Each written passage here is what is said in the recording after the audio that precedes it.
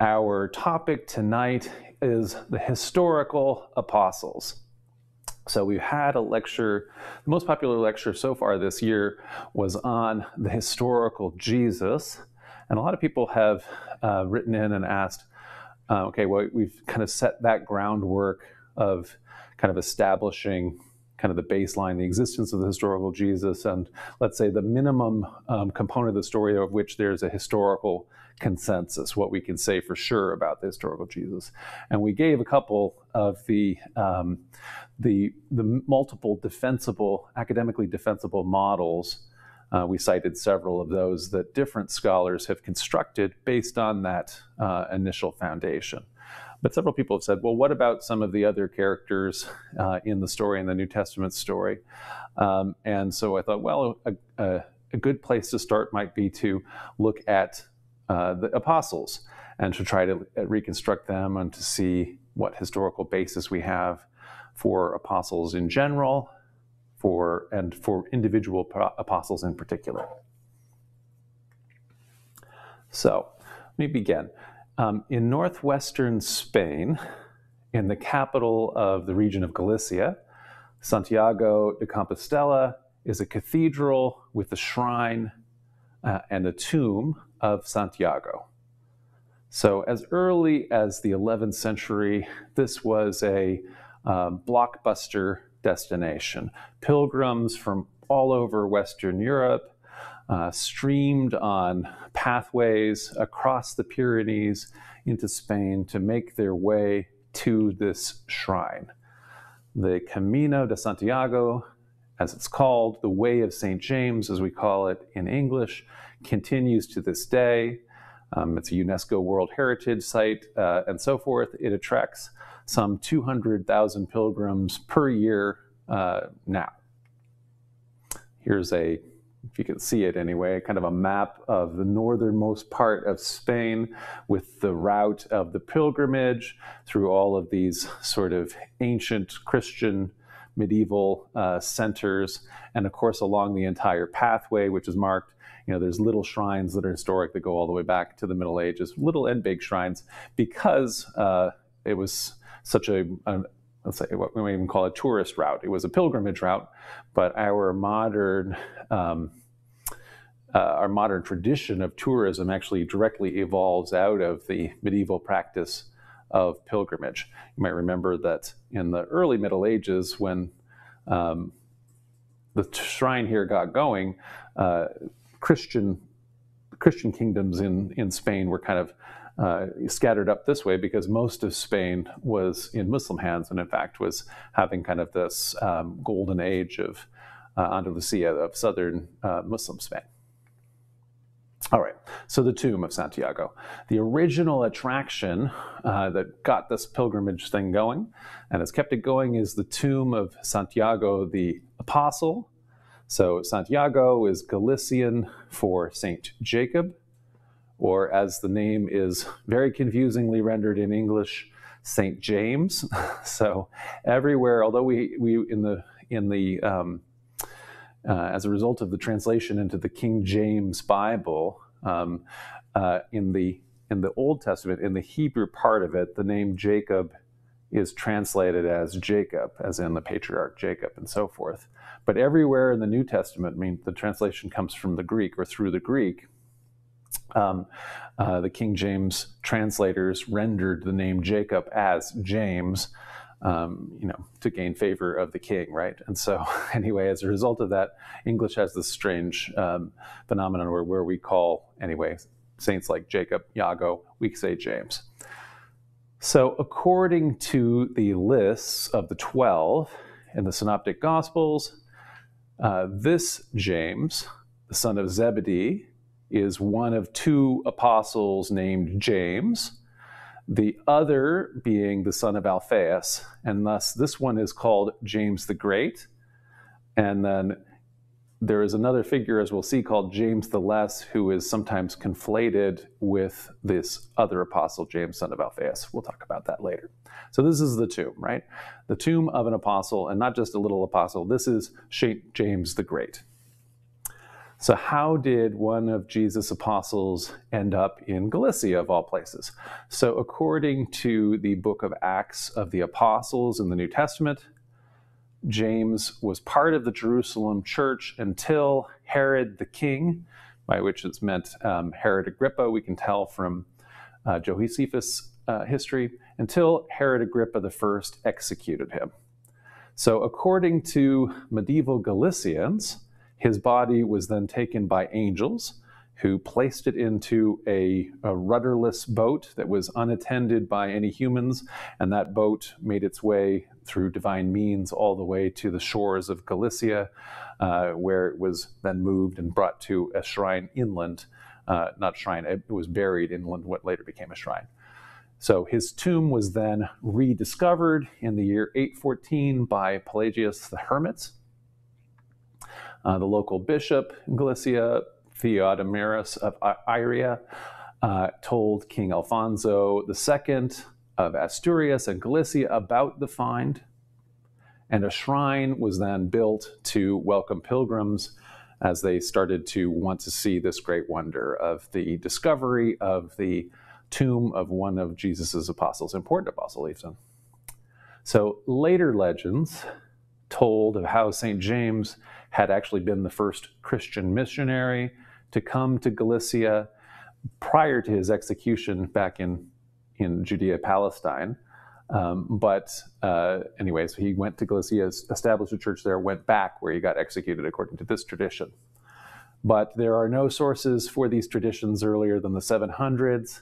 And thus, although it's an old tradition, you know, over a thousand years old here, it doesn't have any historical basis. It doesn't take us all the way back to um, the time of James, you know, six or seven hundred years out of uh, before created, six or seven hundred, eight hundred years later. Okay, there is though context for the shrine's invention. So while there's no associations in Galicia with St. James prior to the 700s, finding his tomb fits the period in which it's found.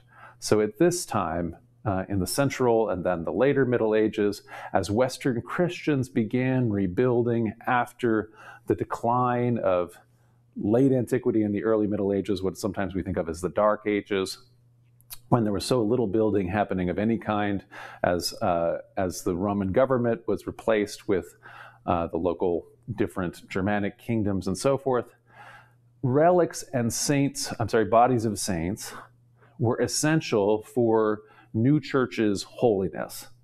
And Christians all across Europe competed to buy, or in some cases create, and in other cases actually even steal relics.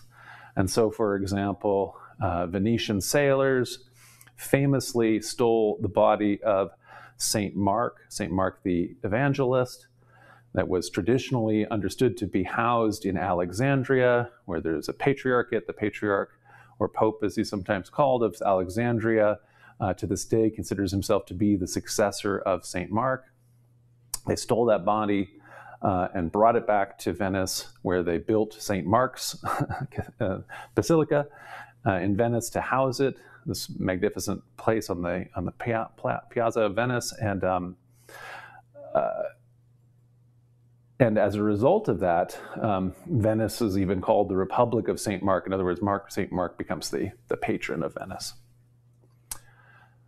Relics associated with characters in Scripture were very potent. So, in other words, Mark here is associated with Mark the Evangelist. That's why you would want his shrine and his body. Thus, for example, the monks of Saint Denis, uh, which is the uh, an, an, abbey just to the north of Paris where the uh, royal crypt of the French kings is housed. Um, those monks forgot that their abbey was named for Denis, or in, in Greek, Dionysius, a third century Gallic bishop, and instead they began to associate the name of their monastery, Denis, with Denis the Areopagite, Dionysius the Areopagite, a character in the book of Acts. So, less ambitious than Galicia, which uh, very little place out the very fringes of Europe, which decided that they were going to pull off claiming that they have the uh, tomb of one of the major apostles. And again, less than, I mean, Paris is picking somebody, a small character like Dionysius the Areopagite is not a big deal. Um, a couple years ago, we went and visited the city of Verona, and we found a shrine there uh, that claimed to have the relics of the boy who supplied the loaves and fishes during the miracle of the feeding of the 5,000. So, in other words, they got somebody, not a major character from the New Testament. The guy doesn't even have a name in the New Testament, but you know, essentially during a major miracle, uh, everybody needs to be fed. Uh, Jesus asks, "Well, what do we have?" And there's a kid who has some uh, pieces of bread and some fish that kid, according to the tradition in Verona, grew up and eventually made his way to Verona, and they have his relics there. So you can see how there is a context for uh, finding these kind of uh, connections, believing that you have uh, the relics or bodies of characters from the New Testament. Okay, so when we're doing history and we're talking about historicity, historicity is not about proving uh, something impossible. So non historians may respond, they often respond. The fact that none of the sources we have for Galicia show associations with St. James, that doesn't prove that angels could not have brought the body there in a rudderless boat. And so they might say, well, I therefore believe that the tomb contains his body. So the response to that is you can believe, obviously, people can believe all the things they want to believe, that's fine. But there is no historical basis for this belief. That belief can said to be false from a historical perspective because we can date the beginning of when the narrative happens, we can date the context for that narrative, and we can show that this association does not go all the way back to the first century where James is, like I say, much later claimed to have been the first founder of Christianity in the area, right? Okay. That should be no detraction from a thousand plus year tradition, you know? So the non historicity of the tomb does not detract from the living, millennium old tradition of hiking the Camino de Santiago. I'm perfectly do not believe that the body of St. James is in that tomb, and I would still really like to do this um, this pilgrimage if I had the time to do it. It would be um, it's a wonderful, amazing thing that people find meaningful. So it's a spiritual practice that has potential to be like a once in a lifetime, even a life changing experience. It can connect you with fellow pilgrims, with friends or family that you bring along, with your historic roots, with people of the past your faith, with the divine, with God. There's all kinds of different ways, different things that uh, this spiritual practice could still be employed by. It's not the historicity of the tomb is not relevant to that, right? So I want to talk about that in general as we do this. So living tradition versus and scripture versus history. So we've made the distinction between the living tradition of Jesus Christ in Christianity, the Christ of theology, the Jesus of scriptures, and the historical Jesus. And likewise, in this presentation, we will look at the distinctions between the traditions about the apostles, stories in scripture about the apostles, and what we can say about the historical basis of each of the apostles, the apostles and each thereof that we'll talk about. Okay, so we'll begin with a question How many apostles were there? And if we had a audience here, we'd have like we did used to before all the pandemic. People could be raising their hands and and and wondering, am I trying to ask them a trick question? Is this a trick question? so should be um, uh, one of the, the things about apostles is there's a particular number that is associated with apostles. So, was the trick question, was I trying to say, oh, well, no, no, it's only 11 because Judas Iscariot, the apostle who betrayed Jesus, was kicked out? No, no, no, because according to the book of Acts, Judas got replaced by a guy named Matthias, about whom we know nothing else than, than just that snippet uh, that is mentioned in the book of Acts. So in other words, there's 12 even after, after Judas. So the answer, though, is no, it's not just 12.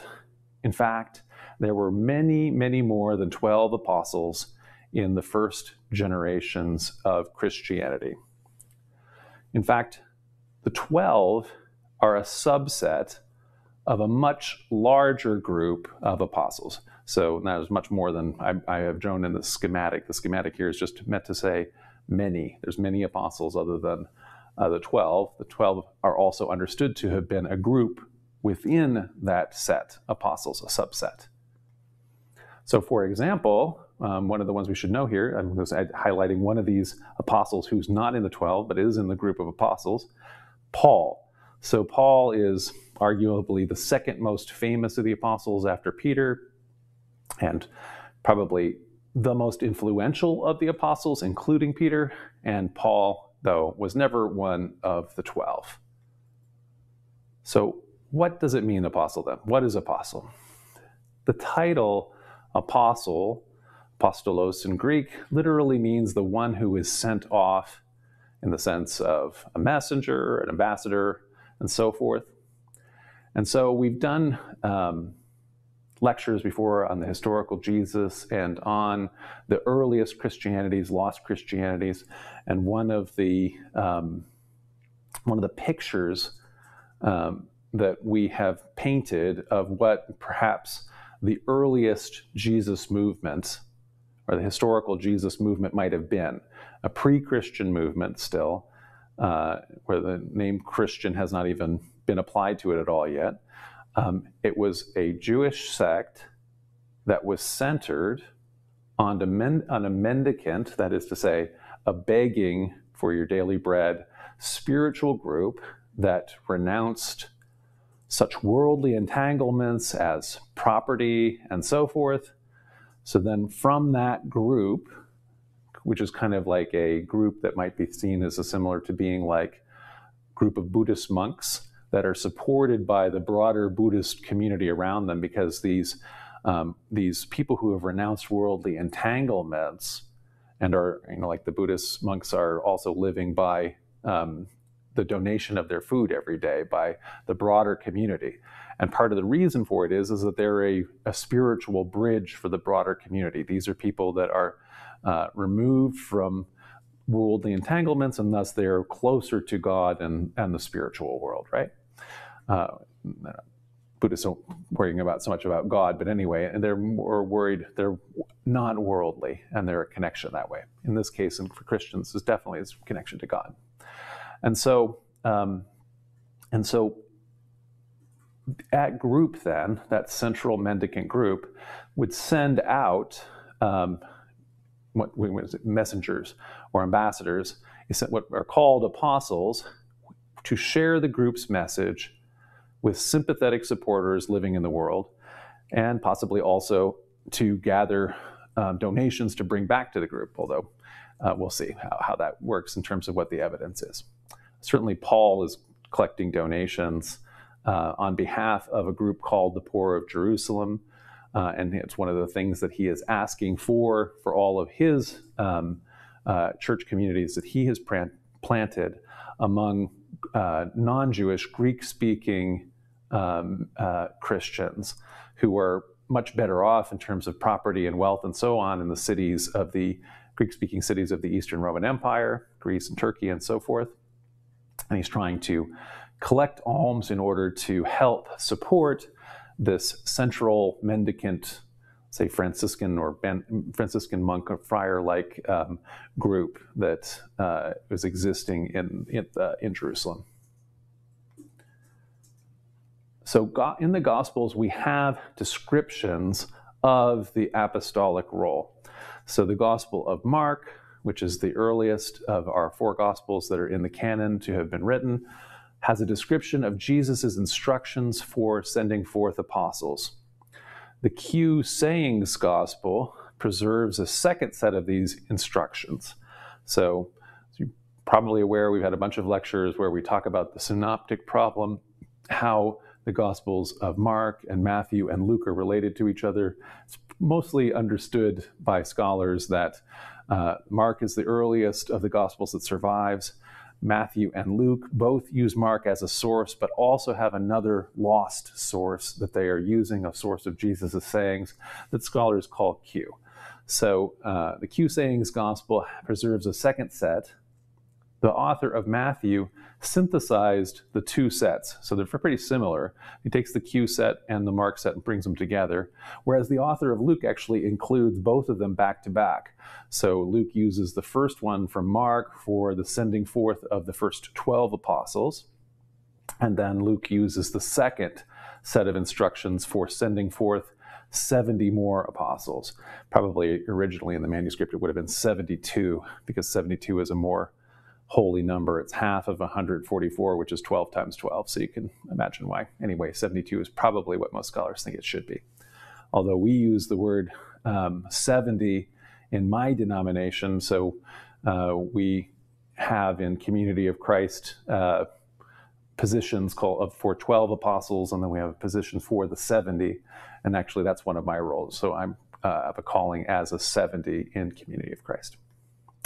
Okay, so let's look at this uh, first um, uh, description of what an apostle is to do. This is found in Mark chapter 6. He, Jesus, called the twelve and began to send them out two by two, and he gave them authority over unclean spirits. He ordered them to take nothing for their journey except a staff, so no bread, no bag, no money in their belts but to wear sandals and not to put on two tunics. He said to them, Wherever you enter a house, stay there until you leave the place. If any place will not welcome you and they refuse to hear you, as you leave, shake off the dust that is on your feet as a testimony against them. So they went out and proclaimed uh, that all should repent. They cast out many demons, and they anointed with oil many who were sick and cured them. Okay, so let's look at a couple of the characteristics of what this is saying uh, the role of apostle is. So it's a spiritual emissary authorized by Jesus. So um, they're authorized uh, to have authority over unclean spirits, and they cast out demons, which is one of the things that uh, Jesus is said to do. And they also anoint with oil many who are sick, and so they do faith healing. So the spiritual uh, spiritual healings. Note here that these sent, one of the details is they're sent out, but they're sent out in pairs. And one of the things that they are doing is proclaiming the message. So uh, repent, turn your life around, uh, be uh, be aware not of all of the things you think are important, but of the spiritual truths that are really important in the world, and so forth. And then they're mendicant. They're not to have property, with a couple exceptions. In other words, you can have sandals, you can have one tunic, but you're not to bring a change of clothes, even in other words, on this thing. You are to live by donations. So there's you can have a staff, but no bread, no bag, no money, and so on. And wherever you enter a house, so in other words, um, you you're not bringing a tent with you, but when people, when you're going around as a, a mendicant beggar, you enter a community, um, some people, local people, might invite you into the house. Uh, and you stay in that house until you leave the place. So it's not like um, you start staying there because you, you know, uh, that seems like a pretty good place. But later, a much richer person who lives in the town says, "Hey, I've got a I've got a really great place for you to stay, and you can have great food and so on." You're not to do that. That's not what this is about, you know. So as long as you're going to be in that place, you go to that first house you entered, and so on. Okay. So here's the second description, uh, the one that's found in Luke. So the author of Luke more or less repeats Mark's instructions to the apostles when sending out the twelve. So that's in the preceding chapter, Luke nine but then includes this account from the Q saying source in chapter 10. So it reads uh, in this part in Luke He, Jesus, said to them, The harvest is plentiful, but the laborers are few. Therefore, ask the Lord of the harvest to send out laborers into this harvest. Go on your way. See, I'm sending you out like lambs into the midst of wolves. And so that's kind of the preface uh, from Luke. But then here's the instructions carry no purse, no bag, no sandals, and greet no one on the road. Whatever house you enter first, say, Peace to this house. And if anyone is there who shares in peace, your peace will rest on that person. But if not, it will return to you. Remain in the same house, eating and drinking whatever they provide, for the laborer deserves to be paid. Do not move about from house to house. Cure the sick who are there, and say to them, the kingdom of God has come near to you. Excuse me.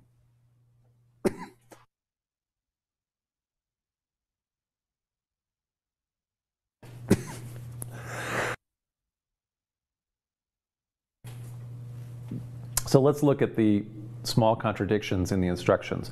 So this is a place where both Mark and Q are both repeating something that comes back to what's presumably kind of a common traditional tradition that's not literarily dependent on each other, but in other words, they're both preserving. Um, there's uh, an earlier tradition, a tradition that's talking about this practice, even pre-Christian practice in the Jesus movement of mendicant apostles. So in Mark, it was no bread, no bag, no money, no second tunic, no looking for better accommodations. But yes, you can have a staff and sandals. Yes, you're supposed to declare repentance and cast out demons and heal the sick. In Luke, there's no bag, there's no purse, which is more or less the same as no money. Sorry. No sandals, no greeting people on the road, and no looking for better accommodations. You're supposed to eat what's given you, so that's kind of an, as opposed to saying no bring bread. In other words, you're eating what the people are giving you. And one of the things, the message here is is sharing peace and also declaring the message: the kingdom of heaven is at hand, the kingdom of God is at hand. And of course, yes, there's also the curing, spiritual healing, curing sick people. There are additional attestations of this apostolic role. So, the Gospel of Thomas, we've had a whole lecture on this. An important early witness has similar instructions for mendicant apostles attributed to Jesus in saying 14:4, where we read, When you go in any region and walk about in the countryside, when people take you in, eat what they serve you and heal the sick among them. So, this again, he's saying this to the apostles and giving them this idea that they're to walk around as itinerants, they're mendicants, they're begging. You get, you eat what you um, are being provided, what the other pe- what the people are providing, and you are serving as a spiritual conduit, right? So you are um, you are free from these worldly attachments, and as people are in need of spiritual healing and even physical healing, as they understand it, um, uh, you are that conduit for that we have another really um, interesting and important uh, description from a text called the Didache. So the Didache is another really key early Christian text outside that has you know been kept outside of the canon. Uh, so it's called the Teachings, it's subtitled The Teachings of the Twelve Apostles. So it dates from either the first or maybe the very early second centuries, and so therefore again one of the very early Christian, uh, earliest Christian writings. It includes um, some of the first descriptions of Christian institutions, things like sacraments and how they're to be, um, how you're to do them, so kind of rules, and so it's kind of a practical rule book and so on. Uh, things like priesthood, different kinds of roles and offices, including rules concerning apostles. And so in chapter 11, uh, it talks about apostles and prophets. So some of these early um, in the Jesus movement, uh, with the way that the Jesus movement is understood, things that fall out in the later in the second century. So these cease to be part of later Christianity, and so this is one of the ways we know this is an early description. So we read there, "Whosoever then." Comes and teaches you all these things aforesaid. Receive him. So they just have whole, had a whole list of what uh, doctrine should be. And so if they're teaching you that kind of doctrine, okay, receive them. But if the teacher himself be perverted and teach another doctrine to destroy these things, do not listen to him. But if his teaching be for the increase of righteousness and knowledge of the Lord, receive him as the Lord. And concerning the apostles and prophets, act thus according to the ordinance of the gospel. Let every apostle who comes to you be received as the Lord, but let him not stay more than one day, or if he need be, a second as well. But if he stays three days, he is a false prophet. And when an apostle goes forth, let him accept nothing but bread till he reach his night's lodging but if he asks for money, he's a false prophet. Do not test or examine any prophet who is speaking in the Spirit, for every sin shall be given. This is quoting um, uh, from a saying of Jesus every sin, from, uh, every sin shall be forgiven, but this sin shall not be forgiven. But not everyone who speaks in the Spirit is a prophet, except he have the behavior of the Lord. From his behavior, then, the false prophet and the true prophet shall be known. And no prophet who orders a meal in the Spirit shall eat of it, otherwise, he is a false prophet. And every prophet who teaches the truth, if he do not what he teaches, is a false prophet. But whoever, whosoever shall say in a spirit, Give me money, or something else, give me something else, you shall not listen to him. But if he tell you to give on behalf of others in want, let none judge him. So you can kind of see um, how this idea of uh, a tradition of wandering apostles and prophets, you can see on the one hand what they do, and you can also see by the time we're getting here to the, like I say, the late first century, the second generation of uh, of what's now Christianity, um, they're they're having to make rules for uh, people who are gaming the system, right? And so there's a lot of concern here with false prophets. And so false prophets are people who are asking for money, people who um, want to keep, who are not going to keep going around, who aren't going to go around and beg in other places, but they, they want to keep living with you after three days and so on. Um, people who are um, uh, preaching false doctrine as far as the uh, understanding of the Didache's understanding of doctrine is. So um, they have all of those kind of things as ways and rules to start regulating um, these mendicant apostles who are going around and continuing to speak in the Spirit at this time.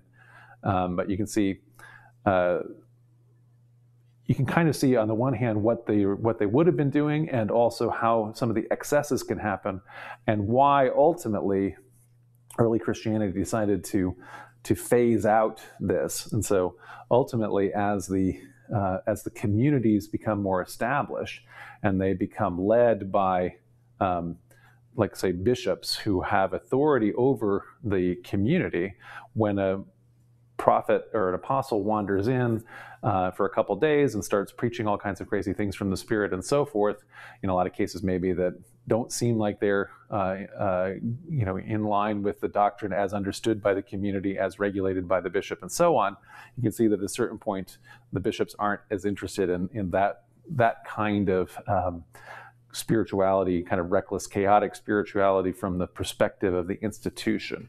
And so at that point, um, and as the uh, this kind of piety evolves, um, the bishops are successful in getting um, uh, this kind of piety transferred into uh, the idea of monasteries. And so ultimately, if you are feeling this kind of spiritual connection, wouldn't it be better instead of wandering around and begging? Wouldn't it be better if you all lived in a monastery under the control of the bishop where you're not where you're not messing around with all of the the faithful in the congregations? So this is why ultimately the age of apostles ends.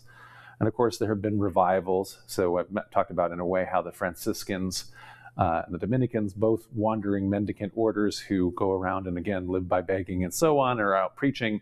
Um, they were um, a part of a great revival in the Central Middle Ages of this kind of piety, but it was also um, very dangerous for the institutional church. They were able to co opt those two, but some of the other uh, more radical mendicants who were preaching extreme poverty and things like that uh, were condemned as heretics from the church, by the church who found them threatening. So, okay. Another characteristic of the original apostles does seem to be that they were both male and female. Um, we've talked before uh, that one of the characteristics of the Jesus movement, and some of its heirs anyway, in early Christianity, was inclusiveness of women, including in uh, major roles and leadership roles. So both women and men filled the role of apostle. And indeed, the whole idea of sending apostles in pairs may have originated as a result of the need for um, uh, male and female pairings, and generally speaking, um, married couple apostles. Uh, and so, for example, whereas it would have been very possible for a single man in the uh, Greco Roman world to go around traveling uh, and be a preacher, a mendicant preacher, and things like that. Uh, for a single unaccompanied woman or maybe even a pair of women, it was much less possible. Uh, women had to have essentially legal protection and even other protection. Uh, and so, probably uh, in order to allow female disciples and apostles to travel through the Roman world legally, uh, the apostles were here would have been paired like that, male and female. So, in uh, this is described a little bit in, in, by Paul when he himself is kind of uh, defending his claim to be called an apostle.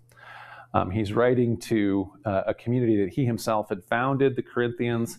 Uh, the Corinthians have had connection with um, uh, apostles who have been uh, authorized by um, uh, by people in James's group, the Jerusalem group, um, people who ha- can trace their ties back to the historical Jesus.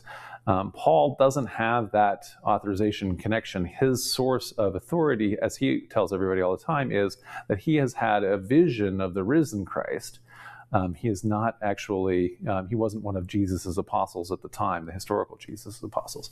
And so, and that, that made it so that people kind of wondered, well, wait a second, where, where is your authority coming from? And he had to sometimes uh, describe it and explain why he does things a little differently than some of the other apostles. And so he writes to them, Am I not free? Am I not an apostle? Have I not seen Jesus our Lord? So he's seen um, vision of Christ the risen Christ. Are you not my work in the Lord? In other words, I, I planted this community. You didn't exist. There was no church in Corinth uh, before um, I converted all of you. If I am not an apostle to others, at least I am to you, since you are my converts, for you are the seal of my apostleship in the Lord. This is my defense to those who would examine me.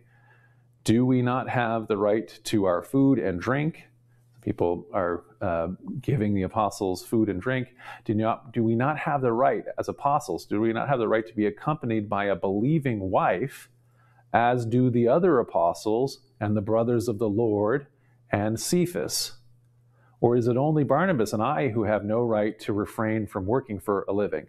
So he's asking, look, if you look at these other apostles from Jerusalem, the brothers of Jesus, like James and so on, who are leaders of this poor of Jerusalem community, Cephas, which is another name for Peter, uh, uh, they are all um, taking, accompanying uh, um, in their missionary journeys, they're being accompanied by a believing wife, right? Um, and so, uh, and so Paul, even though his tradition is that he himself is doing it a little differently, he's traveling with male companions. He indicates that many of uh, the male apostles in the established community have wives as their companions. Um, Paul explicitly may address such a pair in his letter to the Romans, chapter 16. He says, "Greeting Andronicus and Junia, my relatives who were in prison with me." They are prominent among the apostles, and they were in Christ before I was. So here he's talking to a couple in the Roman church, the relatives of, of Paul's. At least it's a man and a woman, Junia, and both of them are known as prominent apostles according to Paul, and actually that they were Christians before Paul converted. So they're very early Christians indeed. And we also know from um, the gospel descriptions that Peter is depicted as having a wife as well. Um, so between uh, between Paul's kind of description here about Cephas being accompanied by a believing wife, and and also um, the fact that Peter is described as being married and so forth in the in the gospel accounts, we have this impression that uh, Peter and his wife may be may have been apostles together. So there's a bunch of other missionary pairings. Um, we, I'll just mention a couple of them here. Although not explicitly called apostles, another pair of married Christian missionaries were Priscilla and Aquila. They're mentioned four times in the New Testament. So Paul refers to them as fellow workers in Jesus Christ. And although, as we said, the historical Paul traveled with male companions, later tradition paired him with a female apostle named Thecla. Uh, and there's a whole apocryphal books of the Acts of Paul and Thecla, which is a really great, um, Greco-Roman uh, romance novel, but not not romance in the sense of uh, they're having a romance, but in the sense that it's an action adventure kind of story and so forth. Um, women speaking by the Spirit. As described in the Didache, part of the role of the apostle is to speak by the Spirit. So there's an example of this type of practice from the Gospels that includes the prophet Anna, who testified by the Spirit as the infant Jesus was presented in the temple. And Luke, as Luke often does, pairs a male and female pairing in terms of the uh, stories presented. And so Luke pairs Anna's prophecy in the temple with that of Simeon, a male uh, who is also speaking in the Spirit at the time Jesus is presented. So, just with all of that, then, and this is kind of a summary of the idea and role of apostles in the Jesus movement and the earliest Christianities. So, apostles are men and women sent forth in pairs. They're mendicant, so they are begging for their food, and they are not to have more than you know any of the barest minimum of property, and uh, they are not to take pay. They are to live on the believer's charity. And so there is a broader community who have not uh, done all of this renunciation of property, who are not um, sent forth, who are not apostles, but they are, um, uh, let's say, members of the Christian communities that are being visited and ministered to by the apostles.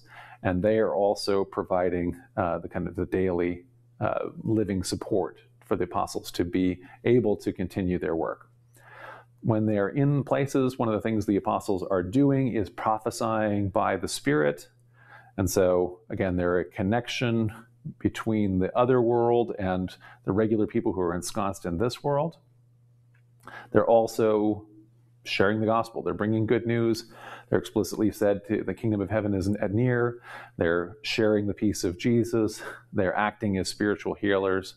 But as the Didache says, they got to travel. If, if they spend more than two days in your house, they're uh, a false prophet. They need to get out of there. so, so move along. Uh, mendicant, itinerant, um, you know, sort of proto monk uh, preachers. Okay, so now I want to look at, having looked at what apostles are, I want to look at individual historical apostles. So, as we talked about, our earliest Christian author whose works survive Paul he identifies himself as an apostle. So Paul is a known historical figure, and therefore he is a historical apostle in the early Christian period. And so are apostles and companions that he names. So, in other words, we know Paul is a historical figure. We have many of his letters are, are all scholars agree are authentic and are written by him. He is talking to um, people, some of whom he calls apostles, like Andronicus and Junia, some of whom he talks about as companions that he is traveling with, like Barnabas and Aristarchus, Silas, Timothy, Epaphras, and Luke, etc. So, in other words, in those kind of letters, we're going to have people who we can say pretty clearly are. Um, you know, unless you don't believe a word that Paul says and you think that he's, I don't know, whatever. I mean, nobody believes that. So, in other words, it's a, all historians conclude that those then would be historical apostle figures. Um, that is not going to be the same is not going to be true um, just because there are mentions in the in the book of Acts, which is the second half of the book of the Gospel of Luke, or in the Gospels uh, alone. So just because um, you might be mentioned as a, a missionary companion, an apostolic companion of Paul in the book of Acts, and there's stories about it, the book of Acts is not um, not historical in the same way, right? So it is a it is a um, scriptural document. It is written by an evangelist for an evangelical purpose, and it's not written by a historian. And just in the same way that the Gospels contain historical data that can be mined by historians, but are not uh, eyewitness accounts, the same is true for the book of Acts, which is the continuation of Luke. Okay. So what do we can we say beyond Paul? So Paul didn't know the historical Jesus, as we say. So what can we say though about apostles who did know the historical Jesus? So in Galatians 2:9, Paul tells us that he personally met three apostles who'd known the historical Jesus. And these are James, the brother of Jesus, Cephas, which is Aramaic for rocky Peter is Greek for the same, so this is a nickname uh, for a person whose birth name was Simon, so very the most famous of the apostles, the apostle Peter, and John, whom Paul identifies these three, James, Peter, and John, as quote the acknowledged pillars is his term for that, the leaders of the church, the poor of Jerusalem, um, this central mendicant community uh, that Paul is uh, attempting to appease and to maybe get into good graces with, who he occasionally fights with because these um, leaders, especially James, are, are very much view, they very much are of the belief that all members of Christianity need to be keeping a kind of Jewish law the way they do. So they have not um, come to this place that Paul has argued for, uh, that Gentile converts, that non Jewish converts into Christianity do not have to maintain the law because the law has been fulfilled in Christ. That's something that Paul is promoting, and uh, the Jerusalem group, which obviously has the historical connection to Jesus, uh, including familial connection, the actual brother, and so forth, the chief disciple Peter. Um, they and Paul are not always uh, in agreement on this. Um, so Paul's testimony, though, that these historic apostles, uh, it, those that's buttressed by multiple attestation and other early sources. We have for James, we saw how that's in Josephus. Out James, Peter, and John are in, and so many other of their early texts. So that establishes those three fairly conclusively. So, lacking other eyewitness accounts. So, we have Paul, and Paul's a historic figure. He has met those guys as he testifies. The New Testament texts attributed to Jesus and the apostles aren't written by them, as we've seen in much of our lectures. So, lacking other eyewitness accounts, pretty much every other name has to come with a degree of uncertainty, some stars, as we kind of say, well, maybe, maybe not, as the evidence uh, must be weighed on each case. So, um, what about the rest of the 12? Is the idea of there being 12 apostles, is that, or 12 special, set, a special subset of 12, is that even historic? So, Paul does confirm um, the 12 existed certainly early on in uh, early Christianity and presumably, therefore, back to uh, the time of Jesus, since it's not something that is maintained in later Christianity.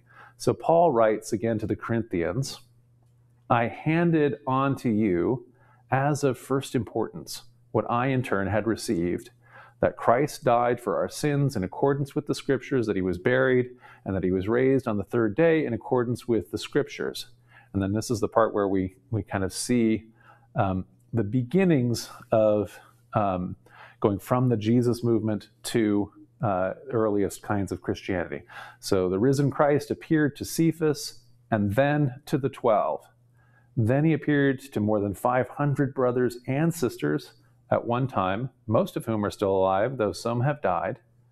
Then he appeared to James, then to all the apostles. Last of all, as to one untimely born, he appeared also to me. So there's a lot of groups here that are having experiences with the risen Christ, right? So he appeared to Cephas, then to the 12, and then he appeared to James, then to all the apostles. So Paul here is making a distinction between the 12 and all the apostles. And although elsewhere in his account of the Jerusalem church, James takes precedence over Cephas, Peter, uh, Paul associates Cephas with the 12, and James with all the other apostles. And indeed, that quotation, I've, I've used it in a bunch of different um, lectures and sermons and so forth.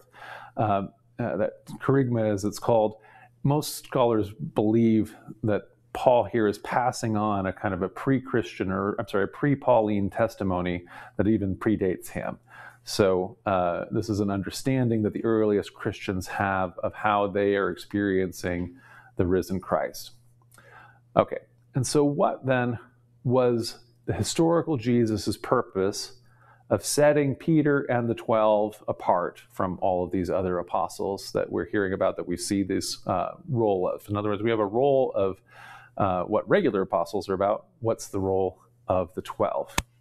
So Paul doesn't really give us any further information about the 12. And so among our earliest understandings of the 12's purpose is found in that lost Q saying source, in parts that are preserved in Matthew and Luke variants. And so this is a very, again, early source. So in Matthew 19, we read, Peter said in reply, Look, we have left, he's talking to Jesus, look, we have left everything and followed you. What then will we have? Jesus said to them, to the twelve, Truly I tell you, at the renewal of all things, when the Son of Man is seated on the throne of his glory, you who have followed me will also sit on twelve thrones, judging the twelve tribes of Israel. And so here's Luke's version of that. So in Luke 22, we read, Jesus said to them, The kings of the Gentiles lord it over them, and those in authority over them are called benefactors. But not so with you. Rather, the greatest among you must become like the youngest, and the leader like one who serves. For who is greater, the one who is at the table or the one who serves? Is it not the one at the table? But I am among you as one who serves. You are those who have stood by me in trials, and I confer on you, just as my Father has conferred on me, a kingdom, so that you may eat and drink at my table in my kingdom, and you will sit on thrones judging the 12 tribes of Israel. So so, between these two, the historical Jesus seems to have called 12 individuals to serve as sort of judges for a spiritually renewed 12 tribes of Israel. The 12 tribes of Israel hadn't existed um, since all the way back to uh, the destruction of the northern kingdoms, uh, the northern kingdom of Israel by the Assyrians. So, even way before the destruction of the, the first destruction of the temple by the Babylonians. Um, but anyway, now there is an understanding of a restored spiritual Israel here, and Jesus has 12 um, individuals among his disciples, 12 apostles, who are sort of stand ins for those tribes. So, understood through the ap- apocalyptic lens of the Q saying source, um, these 12 are to fulfill a role in Judgment Day, judging the 12 tribes uh, on thrones and so forth.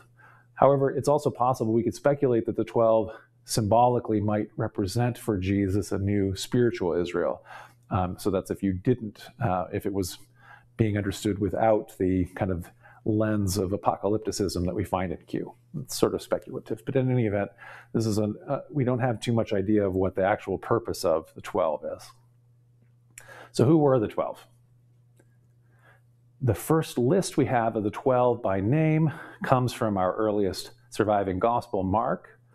And we read in Mark chapter 3 Jesus went up to the mountain, sorry, Jesus went up the mountain and called to him those whom he wanted, and they came to him. And he appointed 12, whom he also named apostles, to be with him and to be sent out to proclaim the message and to have authority to cast out demons. So he appointed the 12 Simon, to whom he gave the name Peter, James, son of Zebedee, and John, the brother of James, to whom he gave the name uh, Boanerges, that is, sons of thunder.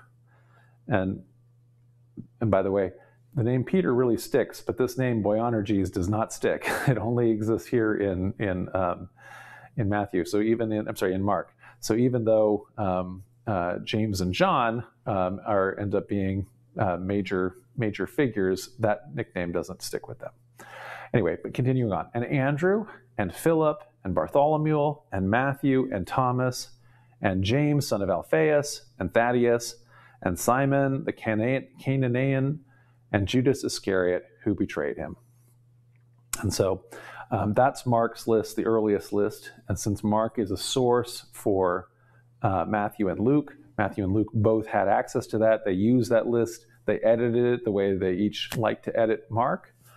Uh, and then there's also uh, not a list, but there are some of these characters developed in the Gospel of John uh, with even more, though, variations than what the variations are between Matthew and Luke from Mark. So, just quickly, I made a little bit of a chart here um, of the lists of the 12 that we kind of have in the Gospels. They're listed anyway in Matthew, I'm sorry, Mark, Matthew. There's a list in Luke and there's a list in Acts, but they're quite similar, the two lists, because uh, Luke and Acts are two halves of the same book. And then I have apostles as kind of seen here in John. And each one of these in this chart, in these of 12, is going from uh, at the top, the best attested, all the way down to the least, right? And so at the top, we have Mark calls Simon, who is given the name Peter, and that's, that's way he's also referred to in Matthew and Luke. Uh, in the Gospel of John, he's called Simon Peter, and some places else he's called Cephas, just the way um, Paul calls him Cephas, and so forth. Then we have John, and we've had in, in Mark here uh, this Boanerges, uh, Sons of Thunder nickname that um, that he, Jesus gives him according to Mark. So John. In Matthew, that nickname is not preserved, and instead he's just referred to as John, the son of Zebedee. He's called John in the book of Luke and Acts. And in the Gospel of John, um, the sons of Zebedee are are both are, are called so called anyway the two sons of Zebedee, but they aren't individually named, so we're not hearing John's name. Um, we'll talk about the John and the beloved disciple and the Gospel of John, the confusion there uh, when we get to John. Anyway, the second one is James, it's just to say John's brother, also son of Zebedee, and so forth.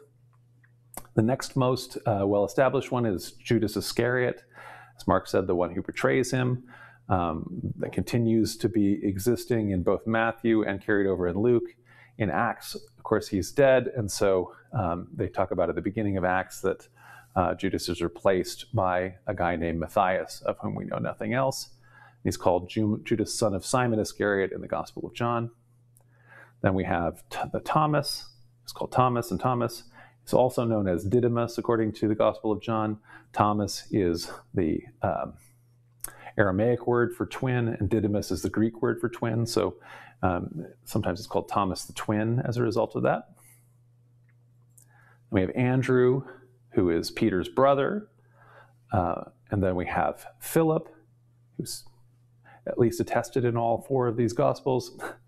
And then Simon the Cana- who Matthew ch- changes, uh, corrects the name and calls him Simon the Canaanite.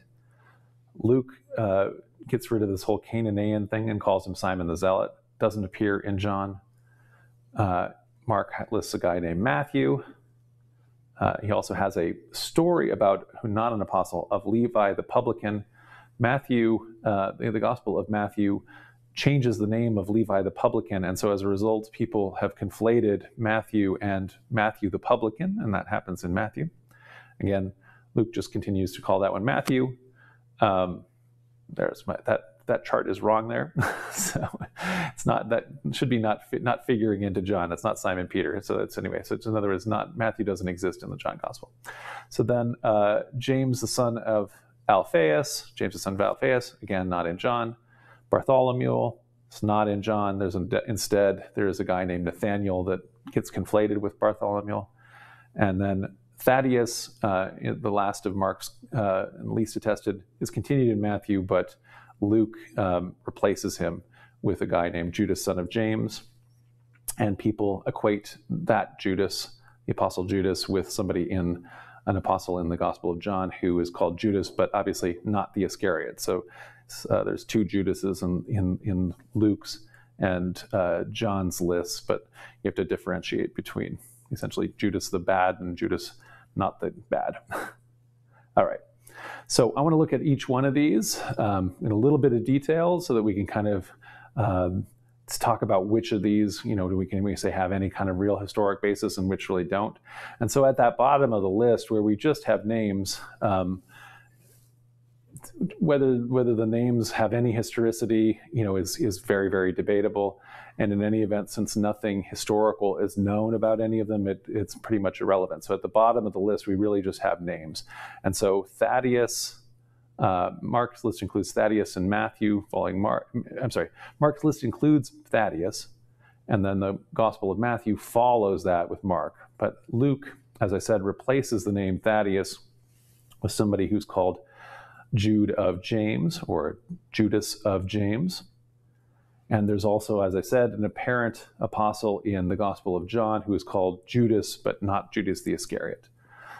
So, like I say, later tradition then kind of wrongly conflates all of these. And so they kind of creates a conglomerated character called Jude Thaddeus, the brother of Jesus, by also even included by conflating even the character from the book of Jude, who is Jude, the brother of James, and James is the brother of Jesus, and so therefore Jude Thaddeus becomes brother of Jesus, and so forth. Okay, so what about Thaddeus? So later tradition that doesn't again have any historical basis imagined that Thaddeus preached in Syria and then Mesopotamia and Libya before facing martyrdom in Beirut.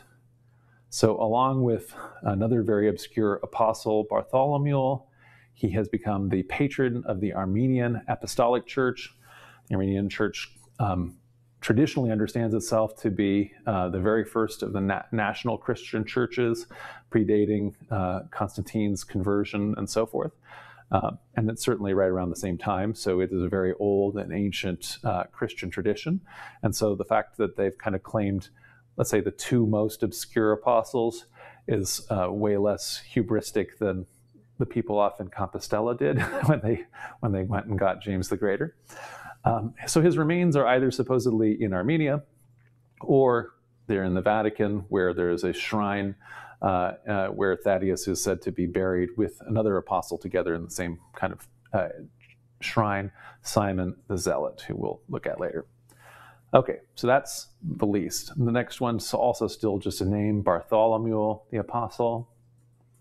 There's really no biblical stories for Bartholomew. His name means son of Talmai. So if you think of Simon Bar Jonah, that means like the bar here is the um, Aramaic for son of. The Hebrew is Ben, right? So if you're, and and the Arabic is Ibn. So you can kind of see the all of these. Um, the patronymic here for the related Semitic languages of Aramaic, Hebrew, and Arabic. We, we're pretty used to having people be named, um, you know, Ben Gurion or Ibn Khaldun, you know, and all these different, you know, for the Arabic names. And anyway, Bar is the Aramaic one. So, and we have a lot of names like Bartholomew, where, where the Bar is like that. So, Bar, son of Talmai. He's conflated, as I said, with Nathaniel, who is a character in John's Gospel, Nathaniel of Cana. Later tradition assigns him a mission to Armenia, India, and sometimes to Arabia and Ethiopia. His body is supposedly in Benevento, Italy, although uh, uh, the cathedral in Frankfurt, Germany, thinks that they have a part of his skull at least, and apparently one of his arms is in Canterbury, England. So, anyway, people were very interested in getting relics of various apostles if they could in the Middle Ages. Okay, the next one, still just a name here too James, the son of Alphaeus, and who's sometimes called James the Less, but also uh, James the Less is actually also a named character uh, in the um, New Testament who is presumably a different character, actually. So it's pretty amazing if you actually make it on the list of Jesus's 12 apostles and you're still primarily known for being less than another apostle named James, but because there are so many Jacobs in uh, the New Testament, Jameses and Marys, you have to really try to figure out uh, which James or which Mary you're talking about. So even though um, uh, this apostle is known as James the Less, like I say, that's a conflation.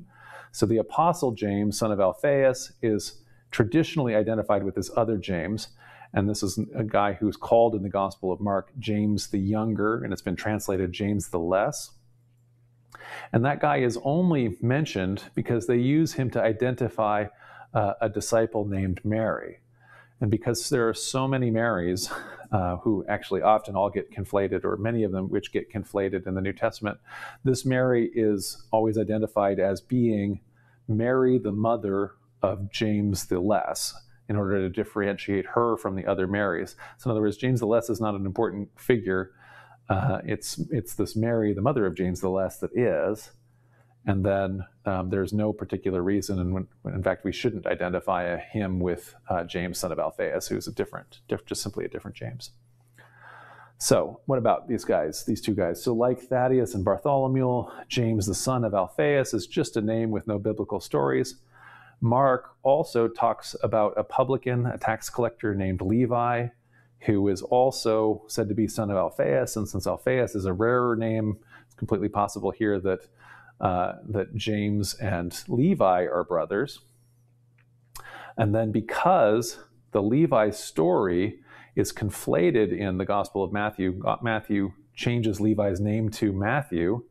Um, James is then, I'm sorry, Matthew is conflated with Levi, the publican, and so then James is somehow thought to be Matthew's brother. Um, but that last association is, uh, again, no good. So later tradition puts uh, James's ministry in Egypt, and it states that he was crucified in the town of Ostracine.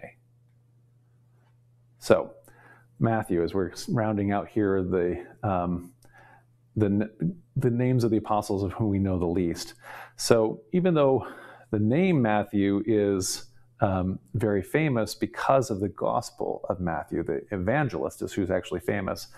Um, the original Matthew on Mark's list is neither a publican, a tax collector, nor is he an evangelist. He's just an anonymous name, essentially, not anonymous, but anyway, just an, a name about which nothing is known on Mark's story. The author, as I say, of the gospel attributed to Matthew changed the name of a character in Mark, uh, and thus Matthew became connected with this idea of Levi the publican, son of Alphaeus. And then later tradition conflated Matthew the publican with Matthew the apostle, and then wrongly identified him as the author of the Gospel of Matthew, which is why Matthew seems like such an important um, apostle that he shouldn't be so low on this list right here. So, the Gospel of Matthew, though, I'm sorry, the Gospel attributed to Matthew, was an anonymous text written by a Jewish Christian around the year 80 or 90 of the first century. The superscription, uh, according to Matthew, was added to the manuscripts sometime in the second century AD. However, there was a statement by uh, a very early bishop in Egypt, Papias, in around the year 125. And because his, of this statement that he made, that um, where essentially he claimed that Matthew arranged the sayings of Jesus in Aramaic first, um, this has led, whatever Papias means, it has nothing to do with the text that we now call the Gospel of Matthew. Uh, and so, uh, it, though, because people wrongly assumed that it did, the Gospel of Matthew, we can say for sure, um, does not, it was not originally written in Aramaic and then translated in Greek. It is originally written in Greek. So it is not what Papias is talking about. And so, therefore, all of the ideas that people have um, about Matthew being the first gospel or Matthew being originally written in Greek. Matthew is not the first. Matthew is working from Mark and so forth. Um, we just have to ignore um, this statement by Papias, who, which has really confused people for up, up to the present day, even. So, anyway, so Matthew, um, the evangelist, the apostle, this conflation character, uh, he's supposedly buried in uh, this magnificent uh, Norman cathedral built by uh, Robert Guiscard in southern Italy in, in the city of Salerno.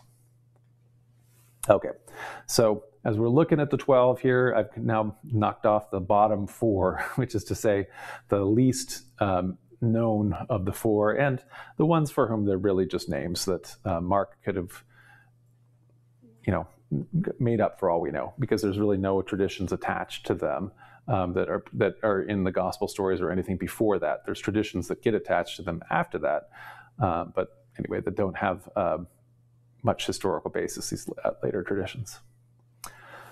Okay, the next one up the list: Simon, the Canaanite zealot. So Mark anachronistically calls this Simon to differentiate him from Simon called Peter. He calls him a Canaanean, which Matthew corrects to Canaanite. So it's anachronistic because um, you know if Mark is sitting around reading uh, the Old Testament, the Greek Septuagint, um, there is a big long series of fights between Canaanites and Israelites. But that term Canaanite is no longer you know present and in use. Um, you know, which is why some of the other gospels will say things like Syro-Phoenician, which is to say local um, Semitic-speaking peoples uh, of kind of the Lesser Syria area that and Phoenicia area that are not um, adherents to Judaism. So they're uh, you know and are not Samaritans. So those are the kind of uh, anyway that, what's that, what that kind of would mean. But anyway, Mark is calling that Canaan here. So Luke changes that, just gets rid of that altogether, and calls him Simon the Zealot, um, referring to a um, one of the kind of sects within um, Judaism, uh, the Zealots. So while, um, again, this Simon has no biblical stories, um, he does make his way into um, some of the Apocrypha, and one of them in particular, kind of a fun uh, book of Apocrypha, is uh, an Arabic infancy gospel where Simon is a child who's been bitten by a snake, and then Jesus, as a boy, um, heals him uh, of the poisonous snake bite, and then goes on to predict Simon's future discipleship. So later tradition has Simon sent around various locations in the Middle East, North Africa, Spain, even all the way to Britain, uh, before being martyred by being sawed half in half, either in Persia or Georgia. There's a lot of gruesome iconography of this. Um, there, at a certain point, um, became all the kinds of different ways that the each of the apostles were facing martyrdom. So Jesus is crucified, but many others are either in this case, sawed in half or beheaded or crucified in weird ways, upside down or sideways, and so forth. So, other traditions, though, um, have him crucified. So, while he was serving as a bishop of Jerusalem or uh, dying peacefully in the city of Edessa in Mesopotamia or Syria, um, his remains are supposedly at this point in a monastery in Mount Athos in Greece. Okay, so going up to the next one of these, Philip the Apostle. So with Philip, we actually come to the first of the apostles who have New Testament stories. Um, so he's not, even though he's on the list in the Synoptic Gospels, there's not synoptic stories. But um, John's Gospel states that he's from Bethsaida, which is the same uh, town in Galilee that Andrew and Peter are from. He attends the wedding feast at Cana. He, uh, he's at the feeding of the 5,000, and Jesus asks him, how is he going to, how are we going to feed the 5,000? He's also at the Last Supper, and at the Last Supper, Philip asks Jesus to show him the fa- to show them, to show all the disciples the Father. Um, nevertheless, uh, scholars identify John as probably the least historical of the Gospels and the most literary. And in almost all of these cases, um, Philip's role is pretty literary. So, you know, he's asking Jesus a question about showing us the Father so that Jesus can, that sets up a, um, a teaching that Jesus is going to have that explains um, the connection between Jesus and God, right? Uh, and so, um, and so in that sense, it's it's part of the literary creation of the Gospel of John, and not so much, we can't actually even find out so much about Philip here. However, he did is the source of lots of later legends, and he figures into apocryphal texts, including there's a second century letter from Peter to Philip and a fourth century Gnostic gospel that purports to tell uh, the acts of Philip. And during this, um, these acts, which are again kind of uh, exciting and, and, and so on. He gets into a, a, magic duel with the sorcerers of Pharaoh, of all things. I mean, you can imagine there are no pharaohs in, in the Christian age anymore, but nevertheless, uh, the Pharaoh and his sorcerers had been part of the Old Testament story, and the Old Testament serves as a source for many Christian texts. And so he gets in this duel with the sorcerers before getting himself beheaded. And other traditions have him crucified sideways or upside down. His remains are also supposedly in Rome in the Basilica of the Santi Apostoli, but another tradition has a tomb of his in Hierapolis, Turkey. So now moving up the rung to ones that are better known, Peter's brother, Andrew the Apostle. Andrew um, is known pretty much only as the brother of Simon and Peter. So he figures into the story of Peter being called uh, to being apostle as he's uh, right there with Peter and goes along with him. So the brothers are fishermen from the town of Bethsaida in Galilee, And so Galilee, we kind of often note, is kind of a mixed region. So some of the people there are practicing Jews who speak Aramaic. Some of the people, though, are Greek speakers, uh, and others are uh, Aramaic speakers who, you know, are, are, are of the old gods and so forth that are not uh, practicing Jews. And there's also um, Samaritans nearby to the south of them. So the fact that it's such a cosmopolitan, it's some of the cities anyway there would have been Greek cosmopolitan cities, but the fact that it's such a mixed region is highlighted by the fact that Andrew's name, very unusually, is Greek, so not Hebrew like his brother Simon's name. Um, and so, anyway, the family, at least for some reason, you know, is picking names from uh, both of the languages and traditions. So Jesus calls the brothers from their fishing nets, saying in Mark 1:17, rather than being fishermen, I will make you fishers of men. He's going to make them apostles and missionaries that are um, uh, bringing people into the into the community. So, in the rest of the Gospels, Andrew pretty much fades into the background as Peter takes the spotlight. But he nevertheless inspired an apocryphal gospel, an apocryphal book of Acts, Unfortunately, both of those were declared heretical, and as with so many heretical texts, uh, they were burned and lost, and so we don't actually know uh, what they, uh, we don't have the text of those. But later traditions find Andrew running around in Georgia and Malta and Cyprus, across Slavic lands, and even all the way to Scotland. And his remains are actually pretty much everywhere from Greece to Poland to Scotland.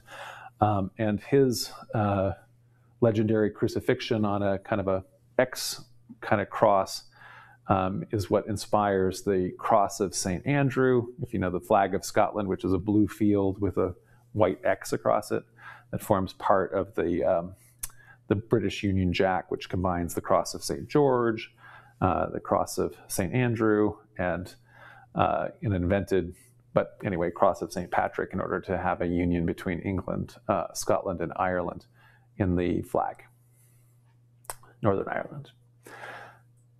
So, Thomas the Apostle, getting up now to uh, ones, uh, again, apostles who have more stories and even more, more and more fleshed out stories in the New Testament.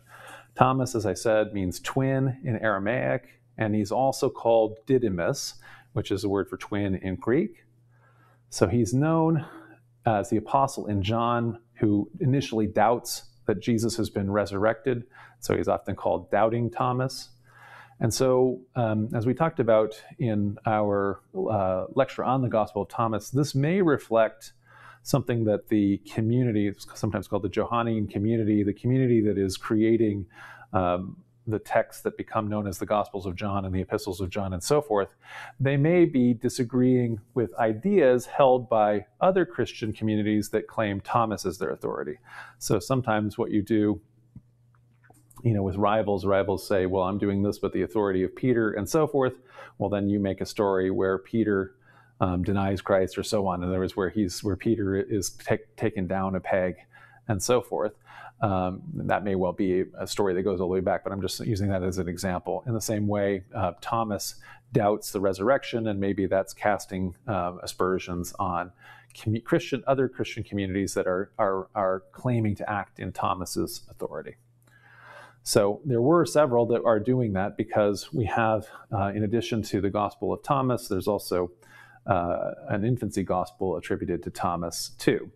So the sayings gospel, though, attributed to, Thomas, uh, that exists, we have a little bit of it. It's originally in Greek, and we have a little bit of it in Greek, but we have most of the text preserved in Coptic uh, that was rediscovered in Egypt at the Nag Hammadi uh, Library, buried library it's really among the most important Christian texts that are outside the canon. In its present form, the Gospel of Thomas, and we've had a lecture on this, it begins These are the hidden words that the living Jesus spoke, and Didymus Judas Thomas wrote them down. So, um, so Thomas is uh, at least by the in the, the authority that the community um, that compiled the Gospel of Thomas in its the latest form that we have it uh, in any way and put that saying at the beginning of it and attributed the gospel to that. So, as I say, um, the Gnostic Christians uh, that were uh, ha- that owned that library, even if the even if Thomas, whether or not Thomas, uh, the Gospel of Thomas as we have it, is a Gnostic or just simply a proto-Gnostic text, it was popular with people who were interested in Gnosticism in general. And Gnostic Christians continued to um, have Thomas as one of the uh, figures that uh, they were in favor of. They didn't like Peter. Uh, they do like Thomas and Mary Magdalene and so forth. And as they later understood it and, and kind of their um, uh, mythology increased about what who Thomas was, they start, understood Thomas to be the twin of Jesus, and very much akin to um, kind of these Hellenistic uh, stories of, of, of divine human pairings of twins. So Castor and Pollux. So one of them is a god and the other one is mortal. And uh, same thing, Hercules has a uh, as a mortal twin and so forth. There's these kind of pairings. And so Thomas is just like Jesus, except for he's the mortal one and, and Jesus is, is uh, the God, the divine one. So, uh, in addition to being um, adopted by the Gnostic community, um, there are associations with Thomas all across the East, a mission to the East, and especially in India. Uh, in India, in the province of Kerala, in southwest India, there's home to a very ancient Christian community. Um, we have we have sources for it that go maybe dated all the way back to the third century. Um, they're to this day now known as St. Thomas Christians. They have associations with the churches of the East, you know, which are even you know, the churches that are further east than the Eastern Orthodox and so on, although they are now their own uh, independent community. So the, the adherents there in Kerala definitely believe that Thomas himself was their founder. And, and, and I you know, can at least say that just like with even, even more, that's even a more ancient association than Santiago has. And it's certainly a very ancient tradition, even if it's very, very unlikely, not, even if it's not history. So that takes us all the way up through, like say, the lowest ones of these that are that are least known, uh, that we have just more or less have names, to the middle bracket where we have names and stories, and it really brings us to the last four, the ones that we know the most about, uh, and have the most stories about: Judas Iscariot, uh, James the son of Zebedee, John the son of Zebedee, and Simon Peter. So Judas Iscariot um, is an interesting one, of course, because Ju- Judas is the bad guy. Judas is the one who betrays Jesus, and um, he is that way already in the um, in the very first list. So even as we read the list in Mark, we have it, the very last one named is Judas Iscariot, the one who betrayed uh, Jesus, and um, and Jesus is also very clearly um, Judas, as a betrayer, is also very clearly um, embedded in the passion narrative. So, as they're having the Last Supper, and Jesus is saying, "One of you, one of you is going to betray me." One of the twelve here. It is definitely within the context of understanding one of the twelve, and specifically um, Judas as uh, as uh, as a betrayer and as being part of the twelve.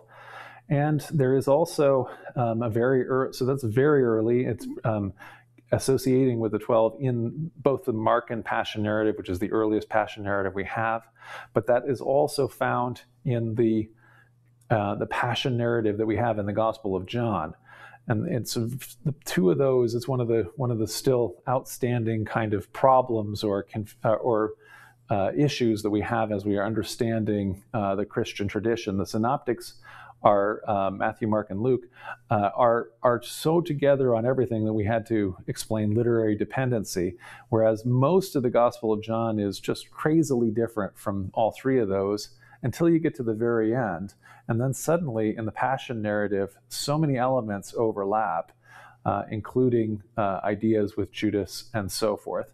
Uh, and so, again, it seems to be um, early. Many scholars posit that there is a um, a pre Markan passion source that's lost that Mark is using as the source for the passion, and that also uh, maybe the author of John has that as well. Um, in any event, it does seem like Judas and the betrayal are very early. It's also um, it's also seemingly in Paul as another another level of attestation because Paul, um, when he's talking about uh, the institution of uh, communion as a sacrament, uh, he talks about Jesus uh, in doing this on the night uh, that he was handed over, um, and so the implication is again that there was the, that this uh, handed over to the Romans and betrayed and so forth, and so and so we have what is what is kind of an early multi-attested tradition with Judas. Um, and then we can also tell, for example, in the same way in that synoptic problem, uh, that Luke and Matthew, the authors of Luke and Matthew, are working from Mark as their source. Mark doesn't uh, conclude the story. You know, there's not a it's not a um, happy ending where where the traitor uh, gets his uh, desserts and so forth. And so both Matthew and Luke create death stories um, for Judas. In the one, uh, he hangs himself, and in the other, uh, he has an accident and uh, a, and has is, is, disemboweled. And because they're totally contradictory, um, it also you know it also shows anybody who wants to read uh, uh, the Bible as inerrant literalistic history and not uh, as as it has the trouble of it's internally contradictory. The two t- stories are are not reconcilable, although people try. Um, and so then Judas will just say one more thing in terms of the extra legends. Um, he he does have uh, his own gospel, a Gnostic gospel, where um, different Christians have decided, well, he's he's been misunderstood, and and give him uh, his own perspective as well. We already talked a little bit about James the Great because we started this off by talking about Santiago and uh, the later tradition that uh, at a certain point he's uh, whisked away by the angels in a rudderless boat and makes his way all the way to Galicia. Um, uh, what, he's definitely one of the um, apostles that figures into the synoptic narrative a lot. And so there is a pairing that Mark has of Peter, James, and John uh, and James and John, in Mark's understanding, are uh, brothers with each other. And he gives them even uh, this uh, nickname, uh, the same way that Peter has a nickname, although it's a nickname that doesn't stick. So the sons of thunder. Uh, he doesn't explain, I guess, why that why that should be, but he pairs them together. And so this particular image is um, the event of the Transfiguration, uh, vision. Jesus goes up on the Mount of Transfiguration with Peter, James, and John. Uh, he's transfigured before them, and they see him in glory, along with uh, the vision of Elijah and a vision of Moses, and so on. Um, so, the question I have, though, and I think that this is one of these coincidences that exists because there's so many of these guys named James. And as remember, that's really Jacob, right? But there's so many people named James. And so we have, if Mark, in order to get his um, some of his narrative, is a familiar with Paul and has been reading Paul, if you remember that the acknowledged pillars of the church that Paul puts together are Peter, James, and John. But it's not James the Great in Paul. In Paul, as remember, it's James, the brother of Jesus, not James, the brother of John. But I always wonder if um, perhaps in writing his version of the story, we aren't having a situation with Mark where he is at odds with this group, the poor of Jerusalem. He doesn't. Um, he wants to discount uh, their authority as they have been led by James, the brother of Jesus, and also by Jude, the brother of James, the brother of Jesus. And so I wonder if Paul, if Mark here, the author of Mark, is deliberately replacing um, as one of the central pillars one James with a different James, and has therefore elevated a character here, uh, the brother of John. So made another character the son of Zebedee. Anyway, that's my speculation. We, it's it's really hard to. Um, it, it's just an interesting thing that there are there are this Peter, James, and John connection that is in Paul, but is maintained as a very different thing. We also have in Mark um, many instances where Jesus' brothers uh, you know, think that he's crazy. they are not followers and so forth, even though we know uh, from the other sources that they are his followers at some point or other. So, so Mark does seem to be trying to um, disparage, anyway, uh, Jesus's brothers. Uh, next, John the Beloved. John, what's known as John the Beloved, uh, actually John and the Beloved. So, as we saw from Paul, this is one of the characters that we know is a historical figure. This is somebody that Paul met, one of the acknowledged pillars of the Church of Jerusalem. But as with so many characters, this also becomes a bunch of conflated figures. And so we've had a whole lecture, for example, on the Signs Gospel, where we talk about some of the issues of the authorship of the Gospel attributed to John. Uh, once again, it's an anonymous text. It's actually written in multiple stages. Um, there's at least two because the seams are so very obvious. And so there's a final uh, redactor editor who is actually not anywhere near as good as the middle writer. And there may well be then an interior text. We've talked about the Signs Gospel that may well be the first or original component of that text. Um, none of these are um, said to be written by in, within the text by anybody named John. There is a place in the text where it says, um, we, we are able to, uh, we are saying all these things because of the testimony uh, of the beloved disciple. But in fact, the beloved disciple, as a character, who's a character throughout uh, the Gospel of John, is not named and is not named John.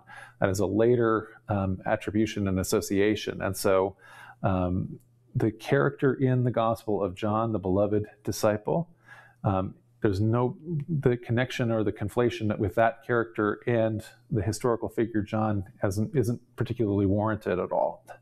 And so this is a connection. There's way less warranted connections to, for example, conflating John the uh, the Revelator, John the Apocalypticist, uh, the author of the Book of Revelation, who is very clearly another guy named John who doesn't even pretend to be uh, or write anything like the kind of Greek that is in the uh, the Gospel of John or the letters attributed to John. So, in other words, these are all different people, some of whom are named John, some aren't. So, the guy, John the Revelator, John of Patmos, is named John, but he's just a different guy. Um, but uh, what we could say then about John the Beloved is um, there was a historical figure, there is also a character uh, uh, of the beloved disciple. These are wedged together, and um, there becomes a community that acts in John's name, the Johannine community, and then they have a tradition that uh, John was the, one of the youngest disciples and lived uh, very long. But again, this doesn't, um, we're conflating a lot of things together to make that, and it doesn't have as much. It's some history. There's some hints to that, but and again, as one of the most attested disciple, up, disciples, there is a historical figure here at the root. But what all of the characteristics we can't necessarily say. And that leads us to finally the most known and most attested of all of the apostles, guy who was born Simon, uh, who got his name changed to the Rock or Rocky by Jesus, um, who is somebody who continues to be one of the leaders of the early Christian community, who meets uh, with Paul several times. Um, he is uh, engaged in, um, we know that he's engaged in these apostolic uh, kind of missionary journey plantings that uh, that Paul is also engaged in because Paul talks about him being uh, active in Antioch, which is the Roman capital of Syria, and there is, although we don't have um, as much of the um, let's say contemporary evidence as we would like. There's ideas that is fairly early that he's martyred, and there's some hints that it could be in Rome, the way Christian tradition uh, has it. And so later Christian tradition has him uh, have his martyrdom on the Vatican Hill. And then ultimately, retroactively, he's understood to have been the first bishop of Rome, the first pope of Rome.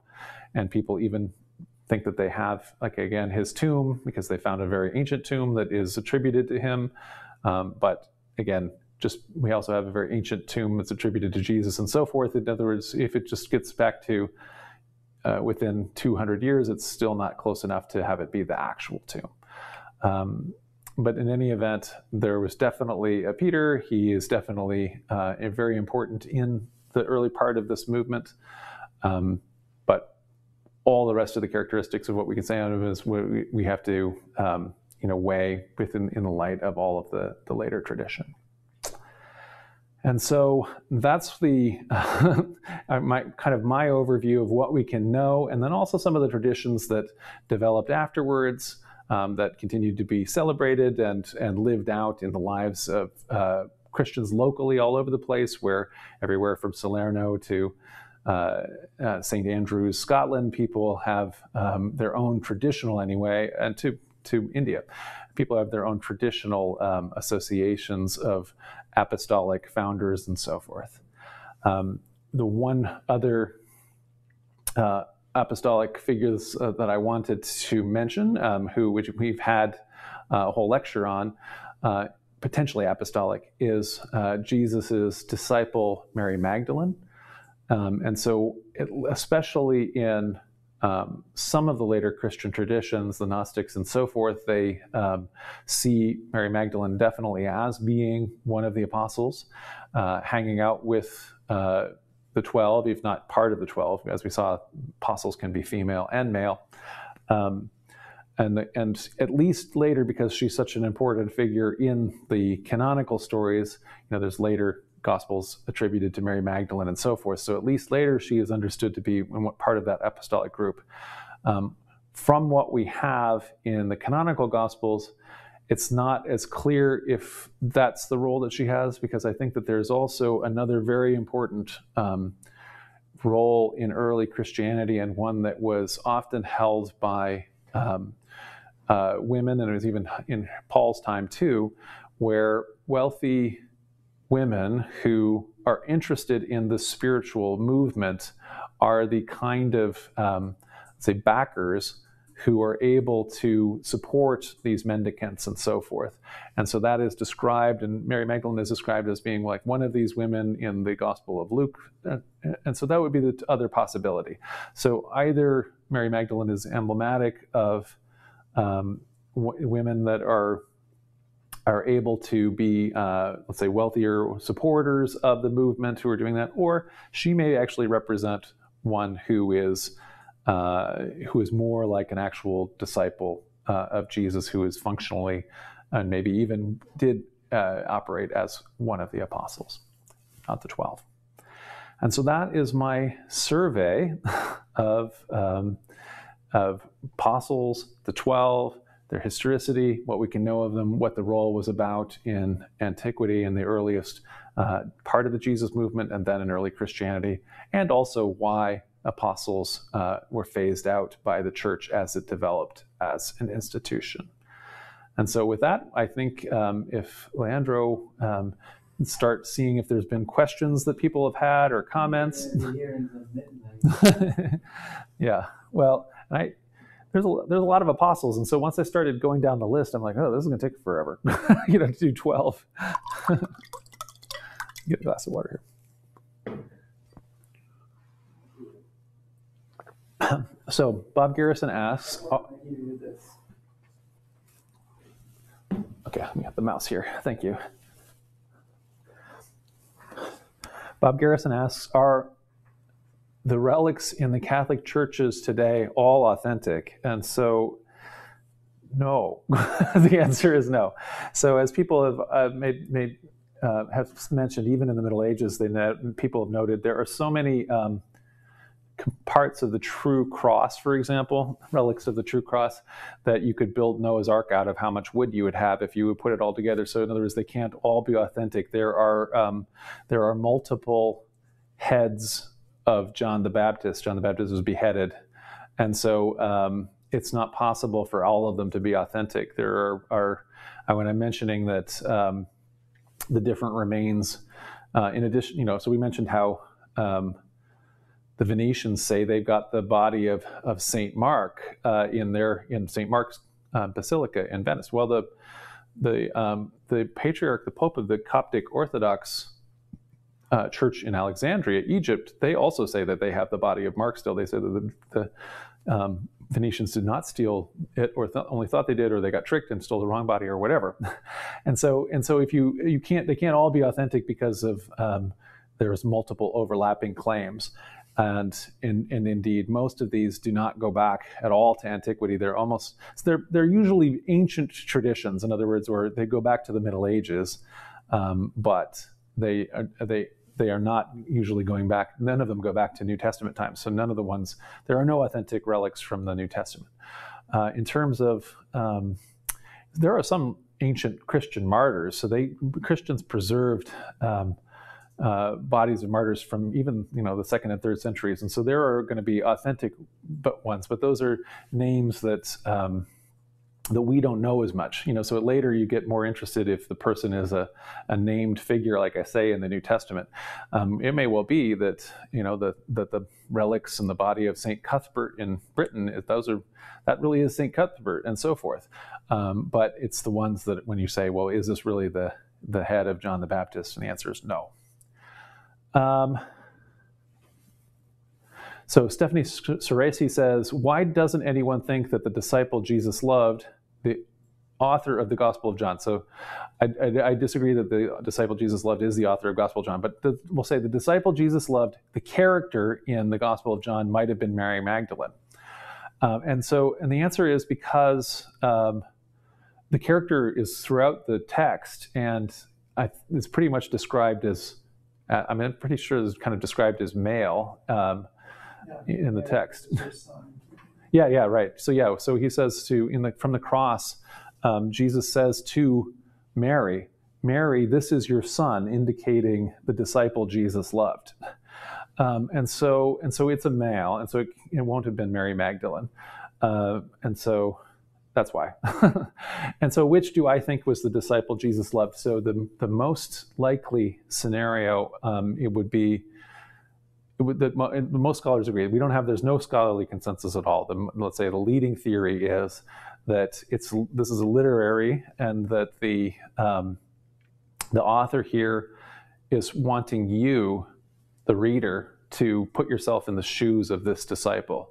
So you're running alongside Peter and trying to get race to the tomb uh, at the same time as him, and so forth. And so and so potentially it's. Um, it's in the same way um, Mark has a literary goal of trying to get you to be the one who says a testimony of Jesus. Who do you think that I am? And Jesus is asking the reader essentially in, in Mark. Um, this may be a literary device uh, that um, the author of the Gospel of John is is maybe using to get you into the text, or um, another theory is that it's a fully anonymous um, disciple in the sense of not an important person, but but in the Johannine community, um, maybe there had been by the time this book is written, which is late, there they have one guy who actually knew the historical Jesus, actually met them, but the person who was not, um, let's say, important to the story, but is is is thought of as being a beloved disciple in that community, uh, and so not a leader type, not a not a prominent person, but simply the last surviving person that had actually known the historical Jesus. That's a theory. Um, another theory that um, is possible uh, because of the way it's described in the text is uh, Lazarus, and so. Um, Lazarus is also just being described as as uh, loved by Jesus, and uh, in the Gospel of John. And anyway, there's there's indications why and theories why anyway Lazarus is a candidate. Um, it's you know it, John is not not a candidate, but there's no there's no particular um, there's nothing in the text. The problem is is that there's the sons of Zebedee are listed as you know as uh, as separate and and not called out by name in the text, and so it, it seems very strange that um, that that John, son of Zebedee, would then also be the beloved disciple. So that, that's why that association doesn't seem as likely.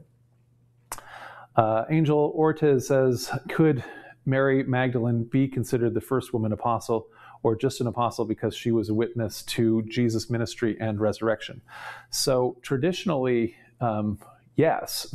So the traditional understanding of it. So if we if we just understand um, the Jesus of scriptures and we and we go from the scripture narrative, um, Mary Magdalene is um, in both John and the Synoptic Gospels either the first or among the first of the people to to have a vision or to be uh, in the presence of the risen Christ. And so then she and other women go and talk to the apostle, male apostles, and and and are traditionally therefore titled apostle to the apostles because they're the ones who are the first sent from the risen Christ to the other apostles, the male apostles, and then the male apostles only after that do they have visions of the risen Christ. The um, that isn't how Paul uh, says it. So as we um, so I wish if I wish in that testimony uh, that Paul gives, where he says, uh, you know, um, Christ first appeared to Peter, and then the twelve, and then to five hundred women and men uh, disciples, and then then to John. I'm sorry, to, to James, his brother of Jesus, and then to the uh, other apostles, and then finally to me. Um, I, I, wish he'd said Mary first. You know, so if he had said, you know, if he said Mary first, then we'd have the perfect multiple you know, additional multiple attestation because that's really the earliest one. And again, the kicker obviously, when we can have Paul saying it, um, but we don't have that, so he leaves that out, and so that would be the only thing, you know. So it's definitely a tradition that is in the um, that passion source. If so, if there's a passion source that underlies both Mark and John, um, that's why we have this um, sense of Mary. So in any event, it was a very early association of Mary um, with vision of the risen Christ. And, and so, um, and as we understand it and celebrate it in the Christian church, we can definitely say she's an apostle to the apostles. Um, Michelangelo Sanchez says, let's see. Um, oh man. Andrew just went away and I cannot get this thing to scroll. So Michelangelo Sanchez says, Center Place, what do you think of the idea that the beloved might refer to Lazarus. So I did make just mention that, and so um, and so you and I are thinking on the same same wavelength. So um, it's I think it's a there's a compelling case because. Um, Lazarus has an interesting role here. So Lazarus is um, um, raised uh, from the dead by Jesus, but he's also referred to as being loved by Jesus in the text uh, where you know John, which is talking about the beloved disciple. Um, and there's also um, there's also some other connections. I made the case for this in a, a lecture on um, on the resurrection uh, as sacred story as opposed to as as history. Um, Leandro, I can't. This won't this won't scroll. So could you help me out with the next?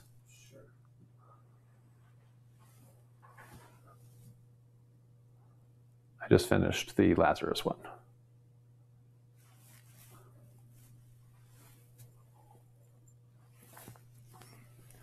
Ron Wagner says, John um, mentioned James the Greater and James the Lesser. And so, is James the brother of Jesus a different apostle? Yes. so, so, um, so James the Greater, James the Lesser, and James the son of Alphaeus, the um, uh, the apostle, those are actually all different. Although James the Lesser and James son of Alphaeus, the apostle, are always conflated. And then James, the brother of Jesus, is a very different apostle. Um, and understood to be an apostle by Paul, and understood to be one of the most important pillars, and actually, indeed, the most important pillar of the church. It's understood by Paul, and he's understood by Josephus to be um, a leader of a community in in Jerusalem. Uh, and so, uh, and so he is an apostle, yes, but he is not one of the twelve. And so, when I was going through the, the whole list of the twelve at the end, um, he's not on that list. And in fact, so Paul kind of clearly doesn't have him on the list. Certainly, Mark doesn't have him on the list, but he is an apostle and he's a known historical figure, yes. So Nathaniel Smith says, Is there any connection between wandering begging apostles and cynics like Diogenes? So this is a um, this is a, one of the core theories of the historical Jesus and the Jesus movement. Um, and so if you read um, books like by uh, John Dominic Crossan, who's one of the leading scholars of the quest for the historical Jesus, um, they make this case that uh, the thing that that these begging mendicant apostles are doing and their kind of philosophy that they're uh, preaching about the kingdom uh, of God and how the last is first and the first is last, and, and overturning all kinds of social expectations, canceling debt, and all, all this sort of thing, um, is very similar to what contemporary um, Greek uh, philosophical uh, mendicants like Diogenes, you know, and all of his disciples that um, at this point have flooded the. Uh, it becomes cynics become very popular and it becomes a trope uh, throughout the um, uh, the Roman world to have these kind of mendicant uh, philosophers that are uh, that are also performance artists that are kind of preaching and, and being outrageous and things like that. Um, and so the idea is that again these are mixed communities. We have even in in Peter's own family, his brother has a, a Greek name. Um, uh, Nazareth, uh, you know, is uh, just a brief walk away from uh, a Hellenistic Greek-speaking capital of uh, the Galilee, and same thing. There's another one in, uh, on on the shore of the Sea of Galilee. So interspersed is with. Um, especially in Galilee, with people who are of Jewish background, who are practicing adherents of Second Temple Judaism, like Jesus and his disciples, there are right next to them um, uh, Greek speaking, Greek influenced Hellenistic peoples that may well include. Um, you know, practicing philosophers that are cynics on the model of Diogenes. And so uh, that's certainly been a, a connection and association that um, uh, scholars of the historical Jesus have tried to make.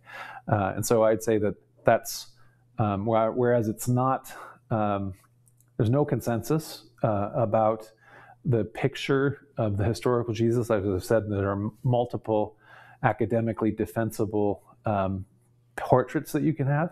And I'd say that the most popular portrait is the one uh, by Bart Ehrman, who's talking about Jesus as a failed apocalyptic prophet.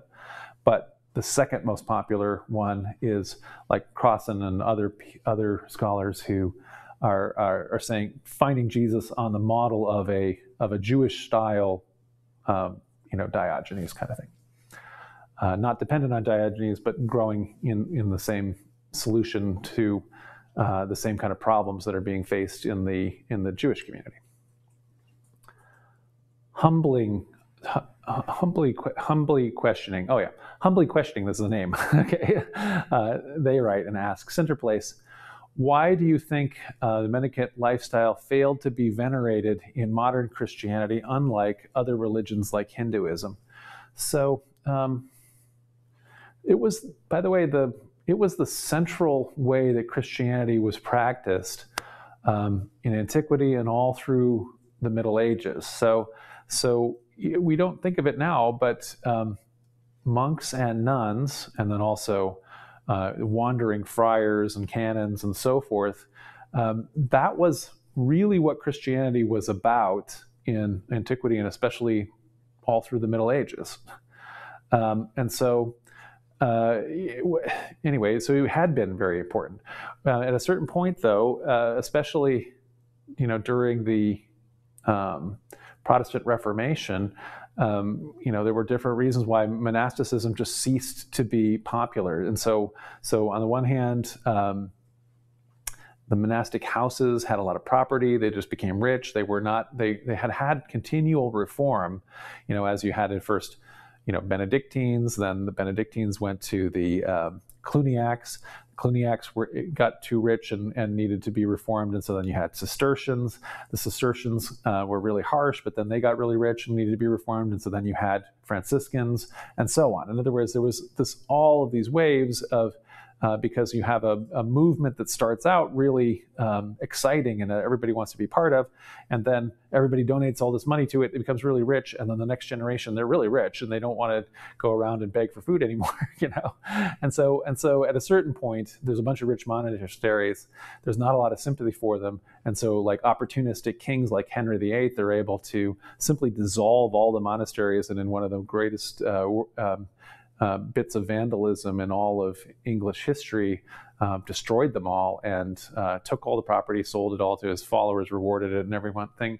Broke up libraries, destroyed everything. It was just a mess, you know. So, um, and so, it, and so for especially the Anglo-Protestant world, um, that more or less, you know, eliminated this whole mendicant lifestyle, this kind of monastic or friar-like um, um uh, piety from just purged it from the Christian tradition. Of course, monks and nuns and so on continue on in uh, Catholic and Orthodox tradition, and so it hasn't ceased to be venerated in modern Christianity. But you don't. It's um, people are. I think they're still way less willing to go off and live in a monastery than they used to, and and, and it's certainly not being. Um, it's not being uh, practiced, let's say, in public as much. So where Franciscans are running around and doing this as as as uh, well the way for example, Hinduism and, and Buddhist monks do. Uh, Bob Garrison is speaking in the spirit uh, the same thing as modern day speaking in tongues.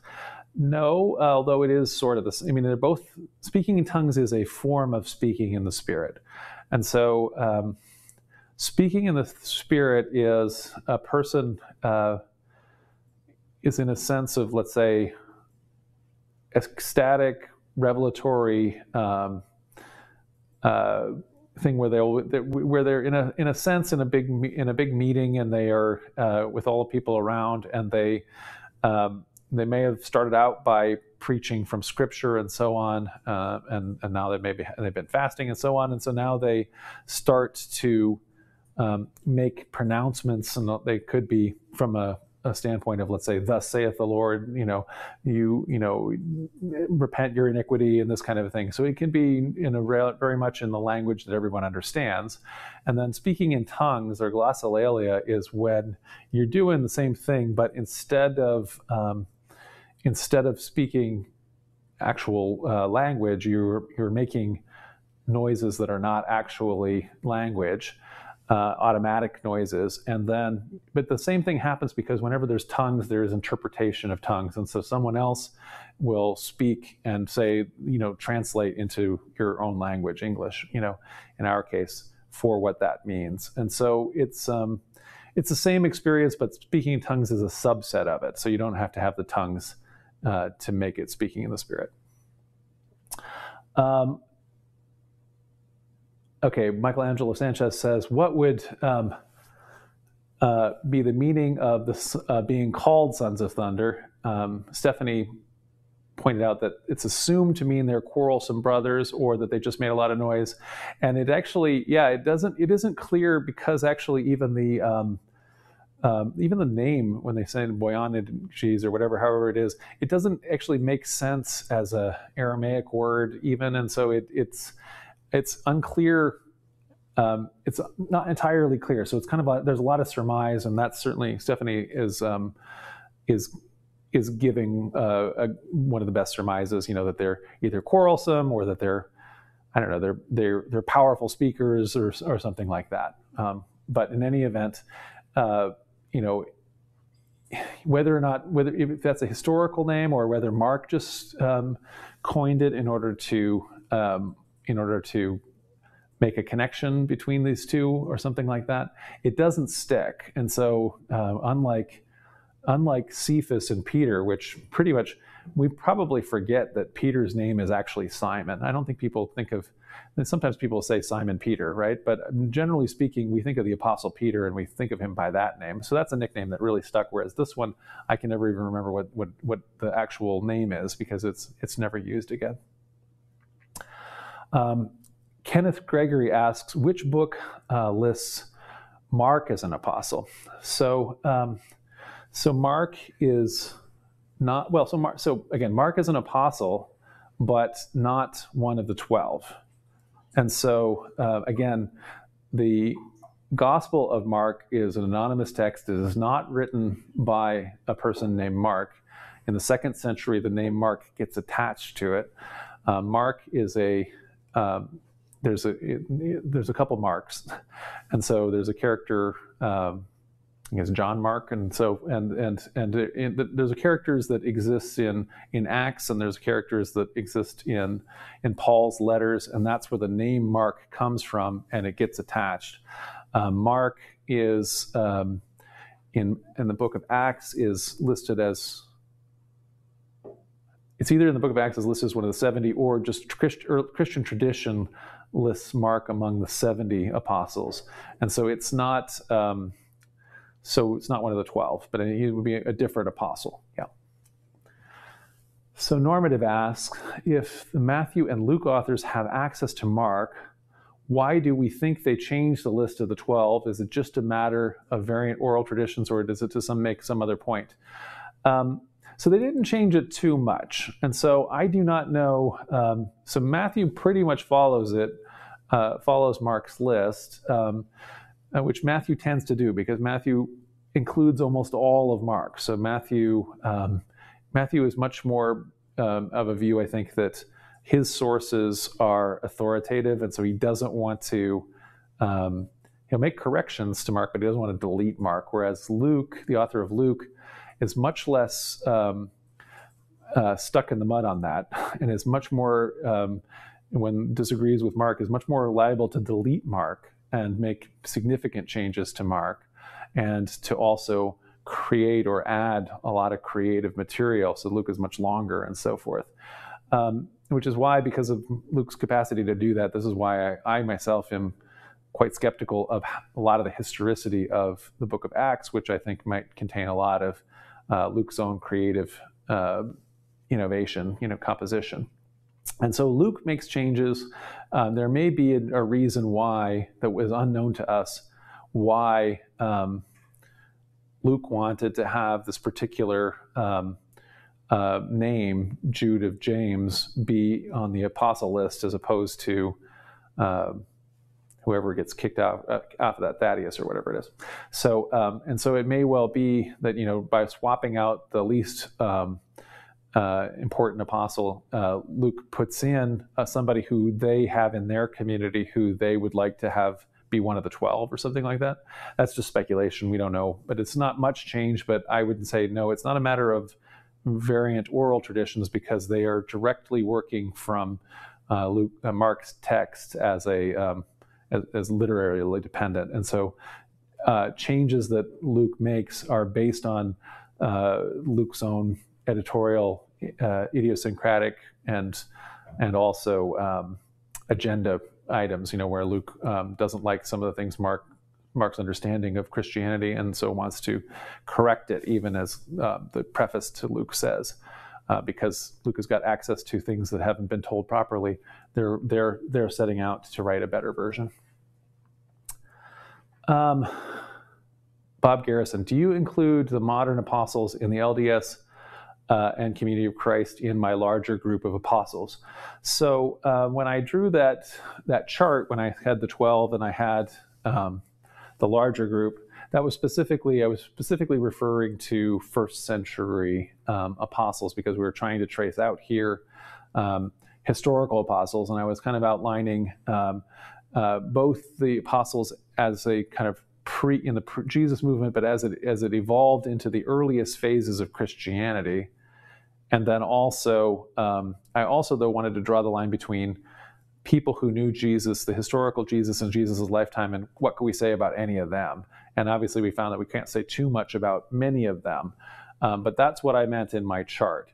In terms of um, modern apostles, either in the Restoration tradition or actually, there's many um, many traditions that uh, that kind of use the term apostles, even the um, the the heirs of apostolic heirs in in Orthodox and all and the Catholic churches also consider themselves, you know, apostolic successors, and so the, um, you know, the uh, Bishop of Alexandria is the uh, is the apostolic heir to Mark, the the Bishop of Rome is the apostolic heir to Peter, the Bishop of Constantinople is the apostolic heir to Andrew, and so forth. So they consider themselves apostles. So I wasn't meaning that, but the, but the term continues to be uh, to be used. And Bob also asks, what is a seventy in Community of Christ?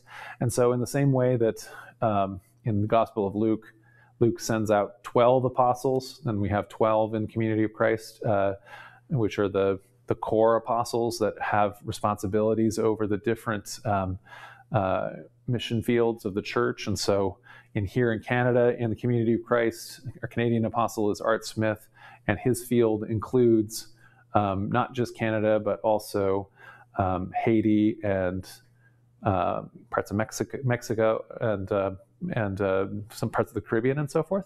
And so that's kind of his apostolic field, and the whole planet is divided into 12 fields in Community of Christ.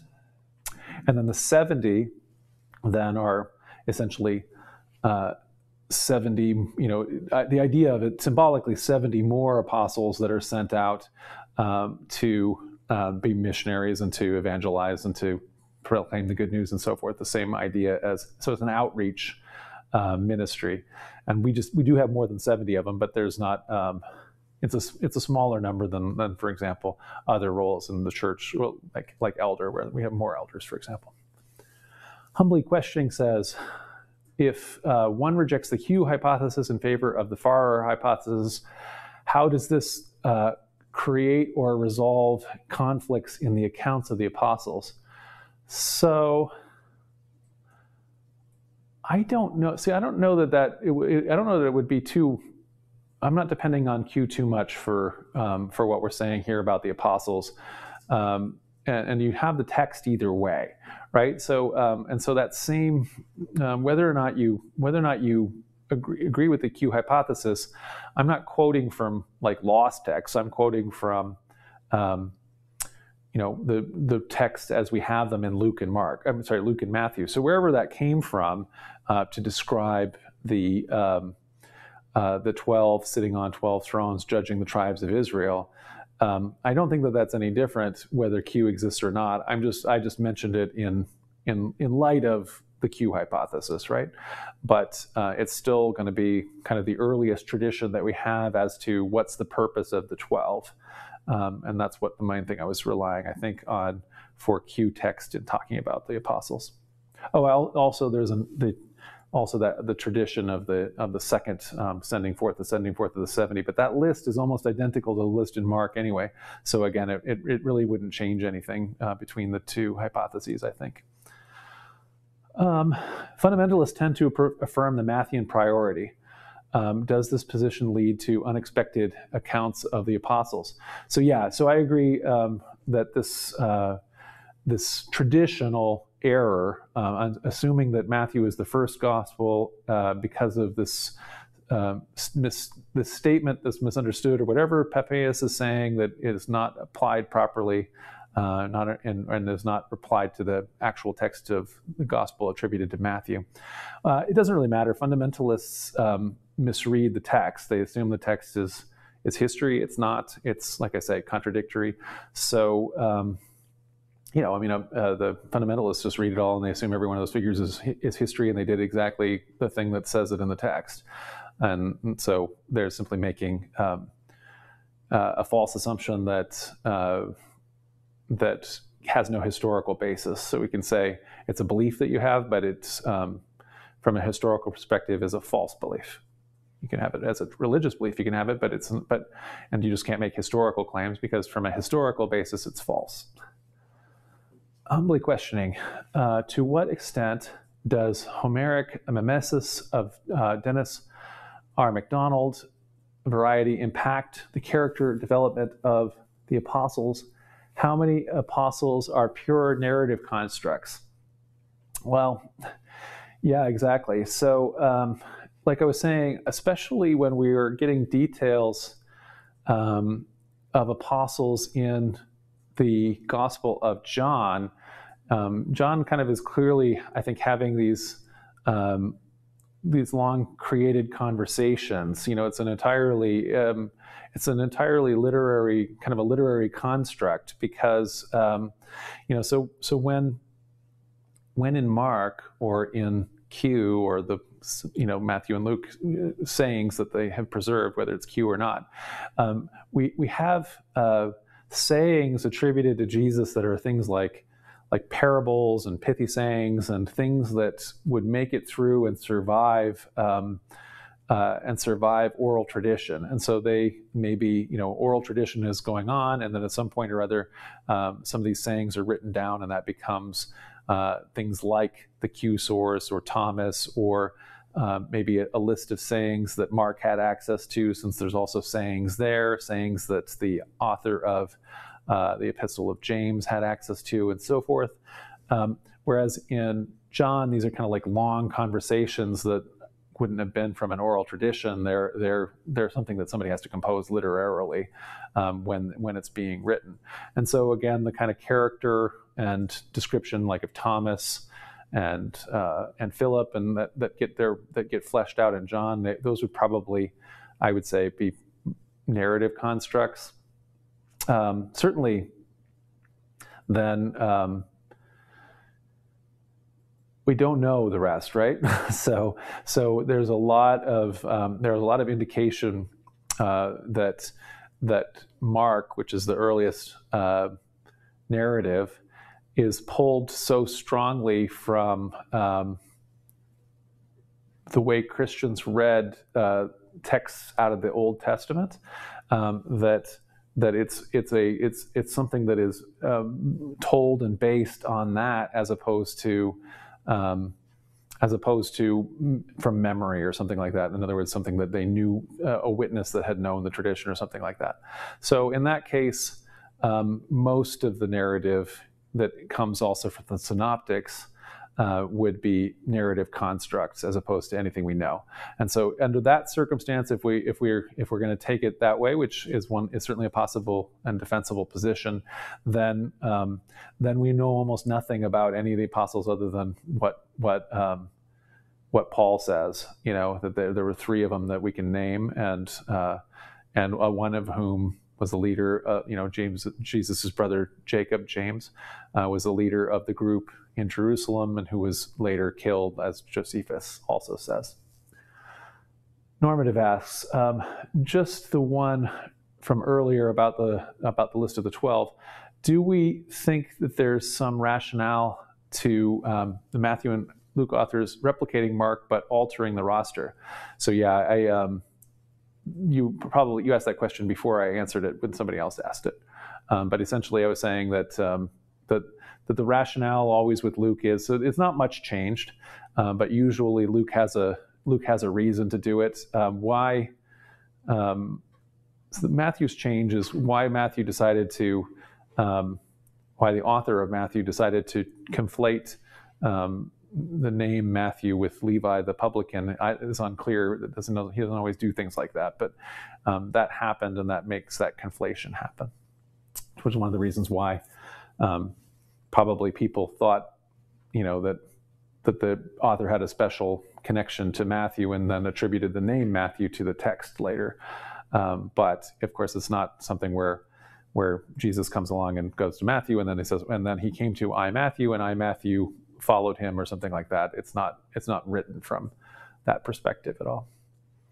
Alexander Lako asks Is Matthias replacing Judas in the book of Acts proof of apostolic succession and the claims of Catholics, Orthodox, and Oriental Orthodox Christians?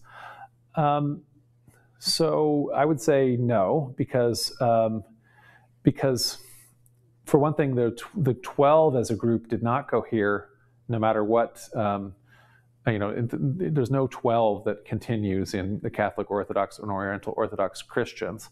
So what's happening in um, the book of Acts is, uh, again, we have this broader group of, of apostles, of which the 12 were 12 of them had who had a special um, function as symbolic of the tribes of Israel.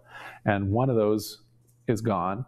And so they replace that one in the book of Acts.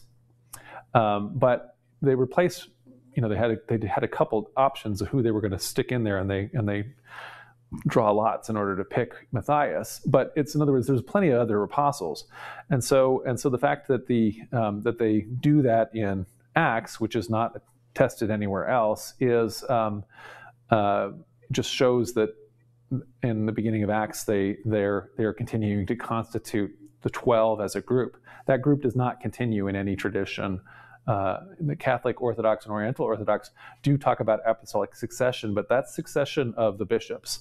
And so the um, the idea is um, in those churches, they have a tradition that different apostles became the first bishop of different places, but there is no good, really good attestation of any of those. So in a lot of cases, um, they're, uh, you know, the the the, the, the the tradition is a, misses it by a century or maybe less. Uh, there are indications, for example, in the Roman Church at the end of the first century that it's not being led by bishops; that it's more got a council or something like that. And so, so if Peter was the first bishop, we don't have this this this good um, evidence for a succession that happens.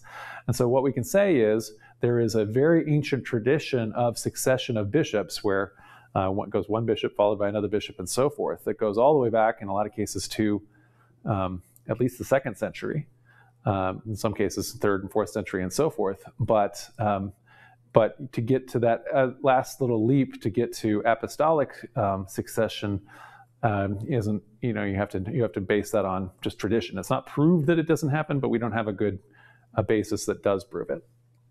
Um, Miguel Sanchez, Miguel Angelo Sanchez. Um, are there other Judas like figures which could have been the basis for the character, or is it an original figure? How possible is it for him to have been a real person? I'm going to cough.